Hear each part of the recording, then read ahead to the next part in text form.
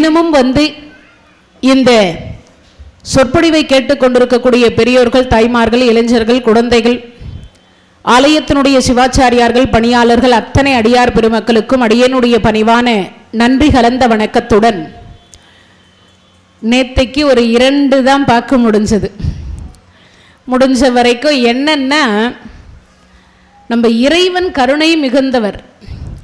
நிறைய திருவிளையாடலை செய்து வச்சுட்டு போயிட்டார். அவர் திருவிளையாடலை ஒவ்வொன்றா நடத்திக்கிட்டே இருக்காரா. அதனால கொஞ்சம் சுருக்கமாக சொல்ல முடியல. என்னென்னா ஒரு தலத்தை பற்றி தெரிந்து கொண்டாலும் முழுமையாக தெரிஞ்சுப்போம். அப்படிங்கிறதுனால தான் கொஞ்சம் சொல்ல முடியுது. காமாட்சி அம்மனையே முழுசாக சொல்ல முடியல. என்னங்க காஞ்சியை பற்றி நிறைய உங்களுக்கு எல்லாருக்குமே தெரியுங்கிறதுனால தான் அதை அதிகமாக தொடலைனா. இருந்தாலும் கூட அறம் வளர்த்த நாயகி ஒரே ஒரு மரக்கா நெல்லை வச்சு முப்பத்தி ரெண்டு அறம் வளர்த்தவள் காஞ்சி காமாட்சி. எவ்வளவு? முப்பத்தி ரெண்டு அறம் வளர்த்த நாயகினே பேர் அந்த அம்மாவுக்கு. அப்படிப்பட்ட ஒரு சிறப்புக்குரிய அம்பாள். அந்த இடத்துல காசி அதாவது கைலாசநாதர் கோயில் ஒரு முறையாவது தரிசனம் செய்யுங்க. நாம் எல்லாம் பிறந்தா திருவாரூரில் பிறக்கணும் வாழ்ந்தால் காஞ்சிபுரத்தில் வாழணும். எத்தனை வருஷம்னா ஒரு முப்பது ஆண்டு காலம் காஞ்சிபுரத்தில் வாழணுமா? அப்படி வாழ்ந்தால் முக்தி. பிறந்தால் திருவாரூர். வாழ்ந்தால் முப்பது ஆண்டு காலம் ஒரு மனிதருக்கு உயர்வும் கிடையாது தாழ்வும் கிடையாது. அதனால் ஒரு முப்பது ஆண்டு காலம் குறைஞ்சபட்சம் ஒரு முப்பது வருஷமாவது காஞ்சிபுரம் தலத்தில் வாழ்ந்தோன்னா நமக்கெல்லாம் என்ன கிடைக்குமா? முக்தி கிடைக்கும் அப்படின்னு சொல்லப்படுது. பிறந்தால் திருவாரூர் வாழ்ந்தால் காஞ்சிபுரம் தரிசித்தால் சிதம்பரம். ஒருவேளை சிதம்பரத்துக்கு போக முடியாதவர்களுக்கு அத்தனை பேருக்கும் திருக்காரணீஸ்வரர் கருணை பண்ணுறார் என்னைக்கு? வர திங்கக்கிழமை அன்னைக்கு கருணை பண்ணுறார் உங்கள் வீடு தேடி இங்கே இருக்கிற இடத்துலையே மார்கழி மாதம் திருவாதிரை என்று சொல்லக்கூடிய தினத்தில் சேந்தனார் இல்லத்தில் சென்று களி உண்ட தினத்தை திருவாதிரை தினமாக கருதக்கூடிய திங்கக்கிழமை அன்னைக்கு எல்லாரும் வாழ்க்கையில் பிறவின்னு ஒரு பிறந்திருக்கக்கூடிய அத்தனை ஜீவன்களும் நடராஜனுடைய தரிசனத்தை பார்க்கணும். நடராஜர் தரிசனம் செய்யக்கூடிய அனைவருக்கும் என்ன கிடைக்குதாம் மோட்சம் கிடைக்குதாம் பிறவி பெருங்கடல் நீந்துவதற்கான ஒரு வாய்ப்பை நடராஜ பெருமான் நமக்கு தருகின்றார். சிதம்பரத்துக்கு போக முடியலேன்னு யாரும் கவலைப்படணும்னு அவசியம் இல்லை இருந்த இடத்திலிருந்தே எல்லா சிவாலயத்திலையும் நடராஜ பெருமானுடைய தரிசனத்தை கண்ணார கண்டு மனதார அந்த இறைவனை பிரார்த்தித்து கொண்டால் இருந்த இடத்திலே வந்து திருவருளை இன்னருளை சுரக்கக்கூடிய பெருமான். அதனால் திங்கக்கிழமை எல்லாருமே ஆனால் கபாலீஸ்வரர் கோயிலில் நாளைக்கு.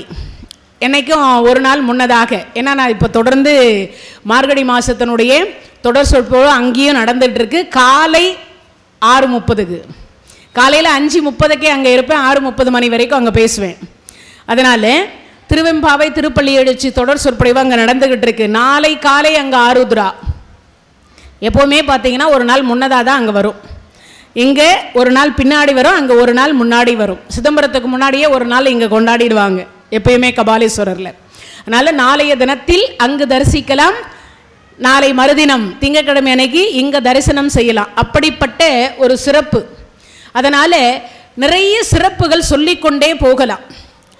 அப்போது இறைவன் மதுரையும் பதி மூணாவது தளத்தில் கொஞ்சம் தான் பார்த்தோம். அறுபத்தி நான்கு திருவிளையாடல் செய்த இடம். இந்திரனுடைய கர்ப்பம் தீர்த்த படலம் நகர் உற்பத்தியான படலம் தடாதகை பிராட்டி என்று சொல்லக்கூடிய அம்பையார் உருவான படலம் புத்திரகாமேட்டி யாகம் செய்து அம்பாள் மீனாட்சி அம்மை மூன்று ஸ்தனங்களோடு பிறந்து அதை கண்ட படலும் அந்த அம்மா திக் விஜயம் செய்த படலும். அதற்கு பிறகு திரு கல்யாண கோலம் அப்படின்னு சொல்லக்கூடிய கார்த்திகை சோமவாரம். நேற்று எல்லாருக்கும் ஒரு டவுட் வந்ததாக சொன்னார். இறைவன் மீனாட்சியை திருமணம் செய்து கொண்டது கார்த்திகை சோமவாரம். இப்போ அடியார்கள் எல்லாம் காலப்போக்கில் மாறுபட்டு இப்போ நடத்துவது சித்ரா பௌர்ணமி. இதை நிறைய நினைவு வச்சுக்கணும். ஏன்னா மேடம் இப்போ சித்ரா பௌர்ணமி தானே கல்யாணம் பண்ணுறாங்க நீங்கள் தப்பாக சொல்கிறீங்களேன்னு நினச்சிடக்கூடாது. புராணத்தில் இருக்கக்கூடிய திதி வேறு நாம் இப்போ செய்யக்கூடிய திதி வேறு. எல்லா தெய்வத்துக்கும் கல்யாணம் வந்து பங்குனி உத்திரத்தில் தான் நடந்தது. நிஜமான தெய்வங்கள் திருமணம் பண்ணி கொண்ட பொழுது பங்குனி உத்தரத்தில் தான் கல்யாணம். எல்லா தெய்வத்துக்கும் ஒரே ஒரு தெய்வம் மீனாட்சி சுந்தரேஸ்வரருக்கு மட்டும் கார்த்திகை சோமவாரம். அதுக்கு என்ன காரணம்னு நேத்தே சொன்னேன். என்ன? சங்கசூடன் என்று சொல்லக்கூடியவன் வரம் கேட்டதுனால கார்த்திகை சோமவாரத்தன்னைக்கு அவர் கல்யாணம் பண்ணக்கூடிய அந்த திதியை வைத்து உன்னுடைய அபிஷேகத்தை நான் ஏற்றுக்கொள்ளுகிறேன். யாரெல்லாம் அந்த சங்கசூடன் அப்படின்னு சொல்லக்கூடிய அந்த சங்கினால் தீர்த்தத்தை இங்கே அபிஷேகத்தை தன் கையினால் செய்கிறாங்களோ? ஏன்னா நம்ம மொத்தமாக எல்லாருமே என்ன பண்ணுவோம்? அபிஷேகம் மற்ற நாளில் நமக்கு அனுமதி கிடையாது. ஆனால் எப்போ அனுமதி கொடுக்குறாங்க? கார்த்திகை சோமவாரத்தப்போ நம்ம கையில் அந்த சங்கு வரும். இல்லையா? அப்போ நமக்கு இறைவன் நம்ம தொட்டு கொடுக்கக்கூடிய பாக்கியம் நம்ம எல்லாருக்கும் கிடைச்சிருக்கு. இறைவனை டைரெக்டாக அபிஷேகம் செய்யக்கூடிய ஒரு பாக்கியம் நமக்கு கிடைக்குது. அந்த ஒரு பாக்கியத்தை பெற்று தந்த பெருமான் சங்கசூடன். துளசி தேவியினுடைய கணவர் கிருஷ்ணருக்கு மறு அவதாரம் தான் சங்கசூடன். வேற யாரும் இல்லை நினைச்சுக்க வேண்டாம் உடனே. அவன் ஏதோ அசுரன் அப்படின்னு நினைக்க வேண்டாம். கிருஷ்ணருடைய மறு அவதாரம் தான் சங்கசூடன். துளசி தேவியினுடைய கணவர். அது மட்டும் இல்லை வீடுகளில் முதல்ல வந்து நீங்கள் கூட ஒரு சங்கு இருந்ததுன்னா அந்த சங்கில் தூய்மையான உங்கள் வீட்டினுடைய குழாவில் இருக்கக்கூடிய தண்ணியை பிடிச்சி அதை மூன்று முறை அதை மேலே கையை வச்சு வலது கையை சுத்தம் பண்ணிட்டு கையை அதை சங்கின் மீது வைத்து கங்காதேவி வருக யமுனாதேவி வருக சரஸ்வதி வருக காவேரி வருகன்னு புண்ணிய நதிகளினுடைய பெயரை சொல்லி நீங்கள் குளிக்கிற தீர்த்தத்தில் அந்த சங்கு தீர்த்தத்தை ஊற்றிட்டு அதுக்கு பிறகு ஒரு மூன்று சொம்போ அஞ்சு சொம்போ தலையில் ஊற்றிக்கிட்டிங்கன்னா காசிக்கு போக வேணாம் ராமேஸ்வரத்துக்கு போக வேணாம் காவேரிக்கு போக வேணாம் சரஸ்வதிக்கும் போக வேணாம் பிரம்மபுத்திராவுக்கும் போக வேணாம். வீட்டில் இருந்தபடியே வீட்டு பாத்ரூம்லேயே கங்காதேவி வரா. இதை விட எளிமையான வழிபாட்டு முறை வேற எந்த மதத்தில் இருக்குன்னு சொல்லுங்க பார்ப்போம் ஆனால் நம்ம யாரும்? ஆ இதான் உண்மை. அதோட இன்னொரு டவுட் இருக்கு எல்லாருக்கும். இதை செஞ்சிட்டா மட்டும் நம்ம பாவம் தீந்துட போகுதா? அந்த சந்தேகம் என்கின்ற மனம். இன்னொன்று சோம்பேறித்தனம். என்ன கேட்டா ஆமாம் இதெல்லாம் யார் செஞ்சு எவனோ அந்த காலத்தில் சொல்லி வச்சுட்டு போயிட்டான் வேலை வெட்டி இல்லாதவன். இந்த காலத்தில் நம்ம இதெல்லாம் செய்யணுமா? ஒரு கேள்வி வருது. நீங்கள் செய்து பாருங்கள். அன்றாடம் செய்யக்கூடிய நமக்கு தெரியாமல் செய்கிற பாவம். தினம் தினம் தினம் தினம் அறிந்தும் அறியாமல். ஏன்னா நடந்து போகிறோம். அதில் எவ்வளவு எறும்பு ஈ எறும்பு புழு பூச்சி நம்ம கடிக்குதுன்ற ஒரே காரணத்துக்காக வள்ளலார் சுவாமிகள் ஒரு இடத்துல போய் உணவுக்கு விருந்துக்கு கூப்பிட்டுருந்தாங்க. வி- விருந்து போட்டாச்சு இலையில எல்லாம் படைச்சிட்டாங்க. இந்த சமையல் உக்காந்து பரிமாறினாங்க பாருங்க. அந்த அடியாரில் ஒருத்தர் கொசு கடிக்குதுன்னு இப்படி அடிச்சார். சுவாமி சொல்லிட்டார் ஒரே வார்த்தையை சொன்னார். அப்பா வேண்டாம் சாப்பாடுன்னார். சுவாமி என்ன இது இலையில போட்ட சாப்பாடு அப்படியே இருக்குது உண்ணவும் இல்லை. ஆனால் நீங்கள் அதுக்குள்ளேயே சாப்பாடு வேண்டான்னு சொல்லி இல்லை நான் சாப்பிட்டுட்டேன்னார். ஏன்னா அந்த மனசு கஷ்டப்படக்கூடாதுன்னு சாப்பிட்டுட்டேன்னார். அப்போ சொன்ன அடுத்த வினாடி ஏன்னார்? அப்பா இங்கே ஒரு கைலாய பதவி ஒரு ஜீவன் அடைந்து விட்டதுன்னார். அவர் சொன்ன வார்த்தை வேற. இங்கே ஒரு இலவு விழுந்துருச்சுன்னார். அதை நான் சொல்லக்கூடாதுன்றதுக்கு ஏன்னா நிறைய பேருக்கு அது புரிய மாட்டேங்குது. இல்லை நீங்கள் சொல்கிறது புரியல திருப்பி ரிட்டர்ன் சொல்லுங்கன்றாங்க. என்னென்னா அமங்கலமான வார்த்தையை பயன்படுத்தக்கூடாதுன்ற காரணத்துக்காக நாங்கள் அதை திருக்கைலாய பதவின்றோம். ஒருத்தர் வந்து கேட்குறார் அப்படின்னா என்னதுன்றார்.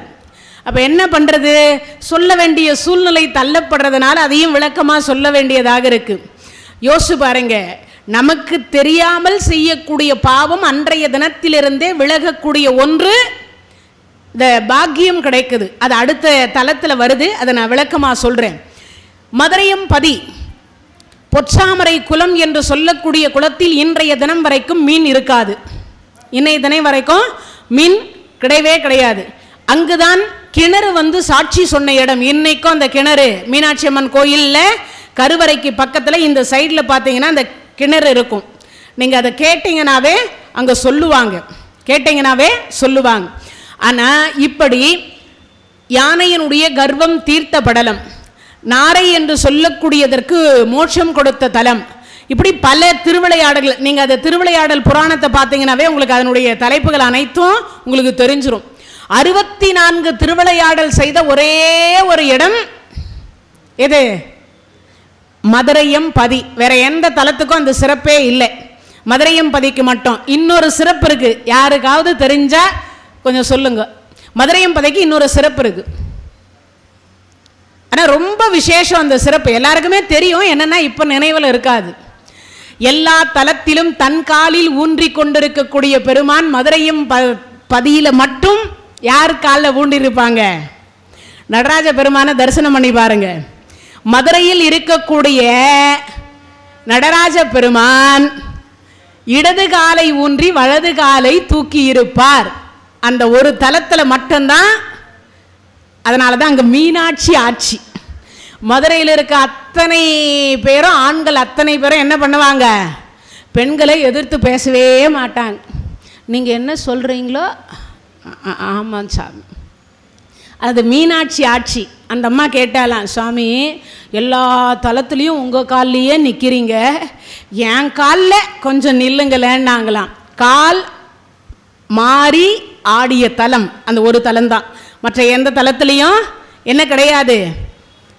அவருடைய சொந்த காலில் நிற்பார் வலது காலில் தான் எல்லா தலத்துலேயும் நிற்பார் மீனாட்சி அம்மையாரனுடைய அந்த இட மட்டும் மதுரையம்பதியில் மட்டும்தான் இடது காலை ஊன்றி வலது காலை தூக்கி இருப்பார். ஏன்னா ஆணுக்கு பெண் சமம் பெண்ணுக்கு முக்கியத்துவம் தர வேண்டும் நாளைய தினத்தில் இருக்கக்கூடிய ஆண்கள் அத்தனை பேருமே பெண்ணுக்கு முக்கியத்துவம் தரணும். சிவபெருமானே கொடுத்தாரே மதுரையும் பதியில் என்று சொல்லி மற்ற நான்கு திருத்தலத்தில் ஐந்து சபைகள்ல அவருடைய சொந்த காலில் நிற்பார் ஆனால் அந்த இடத்துல மட்டும் மனைவியினுடைய காலை பூமியில வைத்து மாறி ஆடியிருப்பார் ஏன்னா இது எதுக்காக சொல்றேன்னா நிறைய பேருக்கு இந்த விஷயம் தெரியாது. அதை தெரிஞ்சுக்கங்கன்றதுக்காக வைகையை வரை வைத்தார் அந்த படலமும் அங்கதான் நடந்தது. அதே மாதிரி குண்டோதரனுக்கு மீனாட்சி அம்மையார் கல்யாணம் முடிஞ்சு போச்சு. முடிஞ்ச உடனே இந்த சாப்பாடு சமையல் பாண்டிய மன்னன் வந்து சமையல் பண்ணி வச்சுட்டார். மதுரை முழுக்க முழுக்க சாப்பாடு மயமாக இருக்குது இந்த சாப்பாடுக்கு சாப்பிட்டு முடிச்ச உடனே என்ன ஆயிடுச்சுனாக்கா சாப்பாடு அப்படியே இருக்குது ஏன்னா குறையில. இந்த குறையல அப்படிங்கிறதுக்கு என்ன காரணம்னு கேட்டிங்கன்னா முதல் கை வச்சு யார் வந்து தொடங்குறாங்களோ தொடங்குறாங்கல்ல? அவர்களுடைய கை ராசின்னு ஒன்று இருக்கும். சில பேருக்கு நீங்கள் சாப்பாடு போட்டீங்கன்னா நாலு பேர் சாப்பிட்ட உடனே சாப்பாடு காலியாகும். சில பேர் சாப்பாடு இது போட்டோம்னா அடுத்த வினாடி ஒரு நூறு பேர் சாப்பிட்டாலும் அந்த சாப்பாடு வந்து கொஞ்சமாவது மிச்சம் இருக்கும். இதுக்கு இப்போ நடந்து கொண்டிருக்கக்கூடிய சிறப்பே அதுக்கு சான்றுன்னு சொல்லலாம். இந்த ஐயப்ப சுவாமிகள் மாலை போட்டு கன்னி பூஜை பண்ணுவாங்க. முதல்ல மூணு பேர் அஞ்சு பேர் பத்து பேர்னு இப்படி தான் சமையல் பண்ணியிருப்பாங்க. கடைசியில் பார்த்தீங்கன்னா நூறு பேர் வருவாங்க. ஆனால் அந்த சாப்பாடு வளர்ந்துக்கிட்டே இருக்கும். இன்னொன்று சாப்பாட்டுக்குரிய ஒரு பெருமையே சொல்கிறேன் இது நிறைய பேருக்கு தெரிஞ்சிருக்க வாய்ப்பில்லை. துரியோதனுடைய தந்தை திருதராஷ்டர் எல்லாருக்கும் தெரியும் இல்லையா? அவர் ஒரு கை சாப்பாடு எடுத்து சாப்பிட்டா அடுத்த வினாடி தட்டில் இருக்கக்கூடிய சாப்பாடு புழுவாக மாறிடும். அதுக்கடுத்து அந்த புழுவாக மாறின தட்டை கர்ணன் தொட்டான்னா மீண்டும் சாப்பாடாக மாறும். கர்ணனுக்கு ஒரு பேர் உண்டு. நிறைய பேருக்கு இது தெரியாது.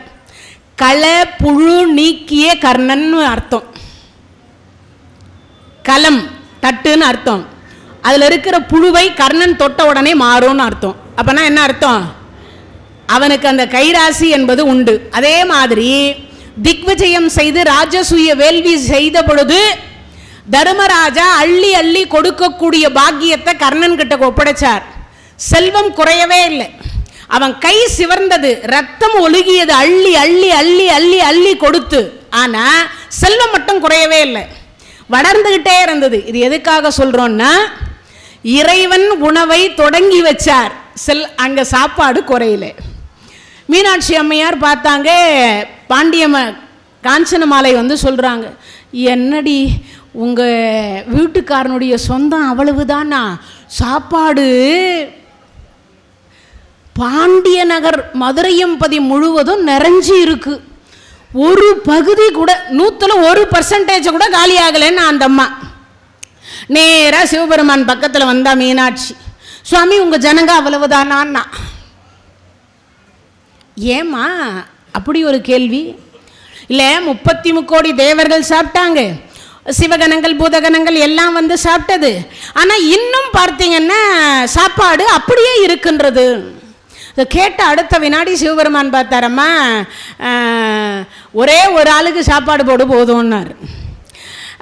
அப்- அது என்னென்னு கேட்டால் சிவபெருமானுக்கு கொடை பிடிக்கிற குண்டோதரன்னு பேர் அவர் பேர். குண்டோதரன்னா நீங்கள் நினைக்கிற மாதிரி ஏதோ பெருசாக குண்டாக இருப்பாருனாலும் அர்த்தம் இல்லை. அவர் இருக்கிறதே ஒரு அடி தான் இருப்பார். அவ்வளவுதான் இருப்பார். உடம்பு கொஞ்சம் குண்டாக இருக்கும். ஆள் குள்ளமான ஆள். இப்படி கொடை பிடிச்சிட்டு இப்படி நிற்பார் சிவபெருமான் உத்தரவு இல்லாமல் எங்கேயும் போக மாட்டார். அவர் எங்கெல்லாம் போகிறாரோ பின்னாடி கொடையை தூக்கிட்டே போய் நிற்பார் அவ்வளவுதான் அவருக்கு வேலை. அப்போ சிவபெருமான் இப்படி ஒரு பார்வை பார்த்தார். என்ன சுவாமின்னார் குண்டோதரன். ஒன்றும் இல்லை நீ சாப்பிட்டியான்னார். சுவாமி நீங்கள் உத்தரவு கொடுக்கல அதனால் நான் இன்னும் சாப்பிடல. அப்படியா? ஏதோ சாப்பாடு இருக்கிறதா சொல்கிறாங்க பார்த்து சாப்பிட்டு வா. ஆமாம் பார்த்து சாப்பிட்டுட்டு வாடினார் சரி நேராக போனார். அம்மா எங்கம்மா சாப்பாடுன்னார். இந்த அம்மா மீனாட்சி அம்மையார் கொஞ்சம் கர்வத்தோடு போனாங்க. இந்த ஒருத்தர் அனுப்பி இவ்வளவு சாப்பாட்டையும் சாப்பிட்ற போகிறாரான்னு நினச்சிட்டு அந்த அம்மா வாங்க போகலான்னு சமையலறைக்கு கூட்டிகிட்டு போனாங்க. சாப்பிட்ற இடம் பரிமாறுற இடத்துல. அங்கே அவர் ஒன்றும் பண்ணலை. சாப்பாடா? ஆனார் அதில் நாலு பக்கெட்டு உள்ளே போகுது நாற்பது கரண்டி உள்ளே போகுது அதில் இருக்கிற அன்னக்குத்தி உள்ளே போகுது சாப்பாடு தயிர் சாதம் சாம்பார் சாதம் எத்தனை இருக்கோ அவ்வளவும் போயிட்டே இருக்கு. கடைசியாக சாப்பாடு மொத்தம் போச்சு. சரி அம்மா இவ்வளவு தானான்னார் அரிசி பருப்பு உப்பு மிளகா புளி எங்கே இருந்ததோ அவ்வளவு மளிகை சாமானியம் காமிச்சாங்க. அத்தனையும் உள்ளே போச்சு. அம்மா இவ்வளவு தானே இன்னும் வேற எதனா இருக்கான்னார். அம்மா குடிக்கிறதுக்கு தண்ணி வேணும்னார். மொத்தம் மதுரையம்பதியில் இருக்கிற கிணறெல்லாம் வத்தி போச்சு. மொத்தம் வத்தி போச்சு. அம்மா என்ன இது? உங்கள் ஊரில் குடிக்கிறதுக்கு கூட தண்ணியே காணும். எல்லாம் போச்சு. கடைசியில் பார்த்தார் சுவாமி குடிக்கிறதுக்கே தண்ணி இல்லை. சாப்பாடு ஏதோ ஓரளவுக்கு ஒரு நாக்கு பூச்சிக்கு போயிருக்கு. எவ்வளவு? ஆமாம் ஒரு ஆயிரம் நாக்கு பூச்சியில் ஒரு நாக்கு பூச்சிக்கு போயிருக்கு. அவ்வளவுதான். இன்னும் தொள்ளாயிரத்தி தொண்ணூத்தொம்பது நாக்கு பூச்சிக்கு இல்லை. அப்படியா? மீனாட்சி என்னமோ சொன்ன ஒரு ஒருத்தருக்கு ச- சுவாமி மன்னிச்சிருங்க. இதிலிருந்து நமக்கு என்ன தெரியுது? எங்கள் அப்பா வீட்டில் நான் எப்படி இருந்தேன் தெரியுமா? எங்கள் அப்பா வீட்டில் நான் எப்படி எல்லாம் சாப்பிட்டேன் தெரியுமா? காலையில் இட்லி பொங்கல் பூரி சப்பாத்தி எங்கள் அம்மா விதவிதமாக செஞ்சு கொடுப்பாங்க. அந்த பெருமையெல்லாம் சொல்லக்கூடாது. எங்கே வந்து? வீட்டுக்காருடைய வீட்டுக்கு வந்து மாமியார் வீட்டுக்கு வந்து சொல்லக்கூடாது. அதுக்கடுத்து மத்தியானம் சமையல் பண்ணி வச்சா இதானே உங்கள் வீட்டு சமையல்? பேசக்கூடாது. அப்போனா என்ன அர்த்தம்? தாய் வீட்டினுடைய தற்பெருமையை புகுந்த வீட்டில் போய் காட்டக்கூடாது பெண்கள். அதுக்கு பாடம் சொல்லும் விதம் தான் அதை கொடுத்தார். உடனே என்ன பண்ணார்? கைலாயத்திலிருந்து அன்னத்தை வர வச்சார். கைலாயத்திலிருந்து தயிர் சாதம். அப்படியே வந்தது. அது ஆ ஆ ஆ, ஆன்னு போயிட்டே இருந்தது. கடைசியாக பார்த்தார் சுவாமி எல்லாம் நிறைஞ்சது ஆனால் இன்னும் தண்ணி கிடைக்கலன்னார். மதையம்பதி முழுக்க தண்ணி கிடையாது. என்ன பண்ணலான்னு பார்த்தார். அப்போதான் ஆகாச கங்கையே நீ வைகையாக வான்னு கையை வச்சார். வை கை. அவ்வளோதான் வேற ஒன்றும் இல்லை. சிவபெருமான் வை கை. அவருடைய கையை எடுத்து அங்கே வச்சார். ஆகாச கங்கை வைகையாக வந்தது. இந்த படலமெல்லாம் நடந்தது எங்க அப்படின்னா மதுரையம் பதி. அந்த இடத்துல தான் இதெல்லாம் நடந்தது. அறுபத்தி நான்கு திருவிடையாடல் செய்த இடம் கால் மாறி ஆடிய தலம் வெள்ளியம் பதி என்று சொல்லக்கூடிய தலம். மீனாட்சி சுந்தரேஸ்வரராக எப்பொழுதும் பார்த்தீங்கன்னா புலித்தோலை அரைக்கி அசைத்து கட்டி கொண்டிருக்கக்கூடிய பெருமான் விபூதியை மட்டுமே தரித்து கொண்டிருந்த பெருமான் அங்கு மட்டும்தான் சுந்தரேசராக அழகர். சுந்தரேசர்னா என்ன அர்த்தம்? சுந்தரகாண்டம் அப்படின்னா என்ன அர்த்தம்? அழகு உடையவர் சுந்தரமூர்த்தி சுவாமிகள் எவ்வளோ அழகாக இருப்பார். அதில் பார்த்துருப்பீங்க நால்வரில் எல்லாரும் வேற உடையில் இருப்பாங்க. ஆனால் சுந்தரமூர்த்தி சுவாமிகள் மட்டும் எப்படி இருப்பார்? ரொம்ப ராஜ அலங்காரத்தோட இருப்பார் எப்பயும். அப்பனா அந்த அலங்கார தோரணையில் இருக்கக்கூடிய பெருமான் யாரு? சிவ பெருமான். அப்படி அறுபத்தி நான்கு திருவிளையாடலை செய்த ஒரு தலம் மதுரையம்பதி. வாழ்க்கையில் ஒரு முறையாவது மதுரையம்பதிக்கு சென்று மீனாட்சி அம்மனையும் சுந்தரேஸ்வரரையும் தரிசனம் செய்து அங்கு இருக்கக்கூடிய அந்த கிணறு என்கின்ற அந்த சாட்சி சொன்ன கிணறு இன்னையும் மதுரையம்பதியில் உள்ள மீனாட்சி அம்மனுடைய கோயிலில் இன்னைக்கும் இருக்கு. அதே போல பொற்றாமரை குளத்தில் இன்றைய தினம் வரைக்குமும் மீன் கொண்டு போய் விட்டாலும் அந்த மீன் வந்து இறந்து போகாது காணாமல் போயிடும். ஏன்னு கேட்டால் நாரை கேட்டது சுவாமி உங்களை வந்து வணங்கும் பொழுது அது உள்ளே வந்தது வணங்கலான்னு வந்த உடனே பொற்றாமரை குளத்துல மீன் மிதந்து கொண்டிருக்கிறத பார்த்த உடனே அதுக்கு ஆசை. என்ன பண்ணதுன்னா வணங்குறத விட்டுட்டு அந்த மீனை போய் உண்டுது. இப்போ மீனை உட்கொண்டு விட்டு இப்போ உள்ளே போய் தரிசனம் பண்ண முடியல. மறுபடியும் த- இப்படியே தினமும் நடக்குது. இந்த நாரைக்கு ரொம்ப வருத்தம். இது என்ன நம்ம தினமும் போகிறோம் அந்த மீன் துள்ளுகிறது. எனக்கு ஆசை அங்கே போகுது. சுவாமி உங்களை முழுமையா என்னால வணங்க முடியாமையே போய்விடும் போல இருக்கின்றதே. அதனால இந்த குளத்தில் இருக்கிற மீன் வேண்டாம் என்றது. உடனே சுவாமி சொன்னார் இன்று மட்டுமல்ல சூரியன் சந்திரன் உள்ள நாள் வரைக்கும் இந்த குளத்தின் மீன் இல்லாமல் போக கடவுதுன்ட்டார். என்னைய வரைக்குமோ மீன் கொண்டு போய் நீங்கள் விட்டீங்கனால அந்த மீன் எப்படி போகுதுன்னு தெரியாது. மீன் அந்த இடத்துல வளரவும் வளராது. அப்பேற்பட்ட குலம் பொற்றாமரை குலம் அந்த குலத்தை வெட்டி எடுத்து தான் மீனாட்சி அம்மனுடைய கோயில் ஃபஸ்ட்டு ஃபஸ்ட்டு கட்டின கோயில். அந்த குலத்தை வெட்டி எடுத்த இடம்தான் மீனாட்சி அம்மனுடைய அதுக்கு மண்ணு எடுத்தது. அந்த குளத்துலேருந்து தான் எடுத்தாங்க. அப்படிப்பட்ட ஒரு சிறப்பு வந்து மதுரையும் பதிக்கு உண்டு. இன்னும் நிறைய சொல்லலாம். அது வேறொரு சந்தர்ப்பத்தில் ஏன்னா ஐம்பத்தி ஒரு சக்தி பீடங்களை கொஞ்சம் கொஞ்சமாவது நம்ம பார்க்கணுன்றதுக்காக அந்த தலம் மந்திரினி பீடம் என்று சொல்லக்கூடியது மதுரையம்பதி இச்சாசக்தி என்று சொல்லக்கூடியவள் மதுரை மீனாட்சி கிரியாசக்தி என்று சொல்லக்கூடியவள் காஞ்சி காமாட்சி ஞானசக்தி என்று சொல்லக்கூடியவள் காசி விசாலாட்சி. இந்த மூன்று தெய்வங்களும் உறங்கியதாக சரித்திரம் கிடையாது. அப்படின்னு என்ன அர்த்தம்? தூங்கியது கிடையாதுன்னு அர்த்தம். மரங்களில் அரச மரம் தூங்காது. தெரிஞ்சு வச்சுக்கணும். மரங்களில் அரச மரம் தூங்காது.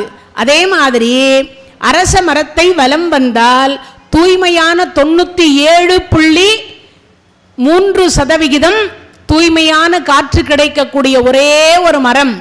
அரச மரம் மட்டும்தான். மற்ற எந்த ம இடத்துலையும் மரத்துலையும் நமக்கு அவ்வளவு தூய்மையான காற்று கிடைப்பது கிடையாது. அதனால தான் முன்னோர்கள் என்ன சொன்னாங்க?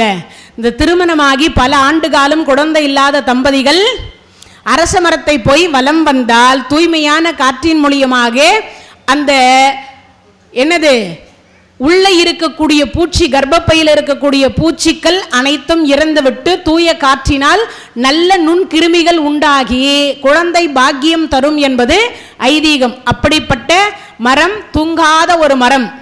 சென்னையில் என்ன மரம் அதிகமாக இருக்குது யாருக்காவது தெரியுமா? தூங்கு மூஞ்சி மரம் தான் அதிகமாக இருக்குது மெட்ராஸில். ஏன்னு கேட்டால் மரம் கூட சுகமாக வாழ்ந்து கொண்டிருக்கக்கூடிய ஒரே ஒரு இடம் எது? மெட்ராஸ். சென்னை அப்படின்ற சென்னை தான் மரம் கூட தூங்கிட்டு இருக்குதா? அவ்வளவு சுகமாக இருக்குன்னு அர்த்தம் வேற ஒன்றும் இல்லை அவ்வளவு சுகமாக இருக்குதா? அடுத்த தலமாக இருக்கக்கூடியது மணி கர்ணிகா அப்படின்னு சொல்லக்கூடிய காசி விசாலாட்சி. இந்த தலம் ரொம்ப ரொம்ப விசேஷமானது. முன்பு சொன்னேன் இல்லையா? பிறந்தால் திருவாரூர் வாழ்ந்தால் காஞ்சிபுரம் தரிசித்தால் சிதம்பரம். இருந்த இடத்திலிருந்து திரு அண்ணாமலை என்று நினைத்தால் முக்தி. அப்படிப்பட்ட தலம் நான்கு தலம் நம்ம எங்க இருக்கு? நம்ம ஸ்டேட்ல தமிழ்நாட்டில் இருக்கு. ஆனா காசியம் பதி மட்டும் எங்க இருக்கு? வடநாட்டில் இருக்கு. அந்த காசியில் என்ன? காசினியில் பிறவாதே காலனிடத்தில் அணுகாதே. அருணகிரி பெருமான் பாடக்கூடிய பாடல். காசினியில் பிறந்தால் நமக்கு என்ன கிடைக்கும்? ஒன்றும் கிடைக்காது. ஆனால் என்ன? காசியம் பதிக்குரிய சிறப்பு. இறந்தால் முக்தி. நீங்கள் போய் அங்கே தற்கொலை செய்து கொண்டால் முக்தி கிடைக்காது. வயதான காலத்தில் அங்கு இருக்கக்கூடிய ஏதாவது ஒரு மடத்தில் போய் தங்கி இறைவன் அழைக்கின்ற வரைக்கும் அந்த இடத்திலேயே இருந்து தன் பிராணன் பிரிந்த பிறகு நமக்கு என்ன கிடைக்கும்? மோட்சம் என்கின்ற ஒன்று கிடைக்கும். காசியம்பதியினுடைய ஒரு சில சிறப்புகள் சொல்லிடுறேன். பல்லி அங்கு ஒழிக்காது காசியில் பல்லி ஒழிக்கவே ஒழிக்காது கருடன் பறக்காது. அதே மாதிரி கங்கை புளிக்காது. பூச்சி வைக்காது. கங்கையில் கிட்டத்தட்ட நீங்க ஆயிரம் வருஷம் வச்சிருந்தீங்கன்னா கூட ஆவியாக போகுமே தவிர கங்கையில புழுவோ பூச்சியோ புளிச்சும் போகாது நாற்றமும் எடுக்காது. இதுக்கு ஒரு சான்று என்ன அப்படின்னு கேட்டீங்கன்னா என் கணவர் இறந்து ஐந்து ஆண்டு காலத்திற்கு முன்னதாக காசியம்பதியில் சென்று வைகுண்ட ஏகாதசி அன்றைய தினத்தில் அந்த அஸ்தியை கரைத்துவிட்டு கொண்டு வந்த இன்னும் கிட்டத்தட்ட ஒரு பத்து லிட்டர் தண்ணி அப்படியே தான் இருக்குது ஆனால் இன்னைய வரைக்கும் புழுவோ பூச்சியோ அதில் எதுவுமே இல்லை. ஒவ்வொரு முறையும் அபிஷேகத்திற்கோ யாராவது திருக்கையிலாய பதவியோ வைகுண்ட பதவியோ அடைஞ்சாங்கன்னா அதிலிருந்து ஒரு டம்ளர் ஊற்றி கொடுத்து அவர்களுக்கு அனுப்பி விடுவேன் அப்படிப்பட்ட அவங்கள அங்கே அபிஷேகம் செய்கிற பொழுது அந்த தீர்த்தத்தோடு இதை சேர்ப்பாங்க. காசியில் அவர்களுக்கு கிடைக்க வேண்டிய அந்த பாக்கியம் இருந்த இடத்திலே கிடைக்குது என்பது ஐதீகம். அப்படிப்பட்ட ஒரு சிறப்பு. என்னை வரைக்கும் ஏன்னா ஒரு சில நேரத்தில் நமக்கு ஒரு சில சந்தேகம் வரும். அது எப்படி இங்கெல்லாம் பிடிக்கிற தண்ணி அதில் பூச்சி வைக்குதே? அதே மாதிரி நாற்றம் எடுக்கின்றதே. ஆனால் ஏன் அந்த கங்கைக்கு மட்டும் அப்படி சிறப்பு இல்லைன்னா இறைவன் சிவபெருமானுடைய திருமுடியிலிருந்து தோற்றுவித்ததனாலேயும் பகீரதன் என்று சொல்லக்கூடியவன் இருபத்தி ஒன்பதாயிரத்தி இருநூறு ஆண்டு காலம் தவம் செய்து கொண்டு வந்ததனாலையும் ஜகன முனிவர் என்று சொல்லக்கூடியவர் வாய் வழியாக குடித்துவிட்டு மூக்கு வழியாக விட்டதனாலையும் இப்படி பல வரலாறுகளை கங்கைக்கு சொல்லிக்கிட்டே போகலாம். அவ்வளவு சிறப்பு மிகுந்த நம் பாவங்களை போக்கக்கூடிய ஒரே ஒரு நதி. எல்லா நதியும் போக்குது. ஆனா ஒரு முறை குளித்தாலே போக்கக்கூடிய பாக்கியம் எதுக்கு உண்டு? கங்கைக்கு உண்டு. கங்கையினுடைய சிறப்பை இன்னும் பின்னாடி நான் சொல்கிறேன் அதே போல் மாடு பெருசு பெருசாக இருக்கும். என்ன பண்ணாது அங்கே? முட்டவே முட்டாது. நீங்கள் அது பக்கத்துலேயே போனீங்கனாலும் கொம்பு பெருசாக இருக்கும். ஆனால் என்ன நடக்காது? முட்டாது. இன்னொரு விசேஷம். இருநூத்தி ஐம்பது ஆண்டு காலத்திற்கு பிறகு குறைந்தபட்சம் ஒரு நான்கு நாளைக்கு முன்னதாகத்தான் என்ன நடந்தது?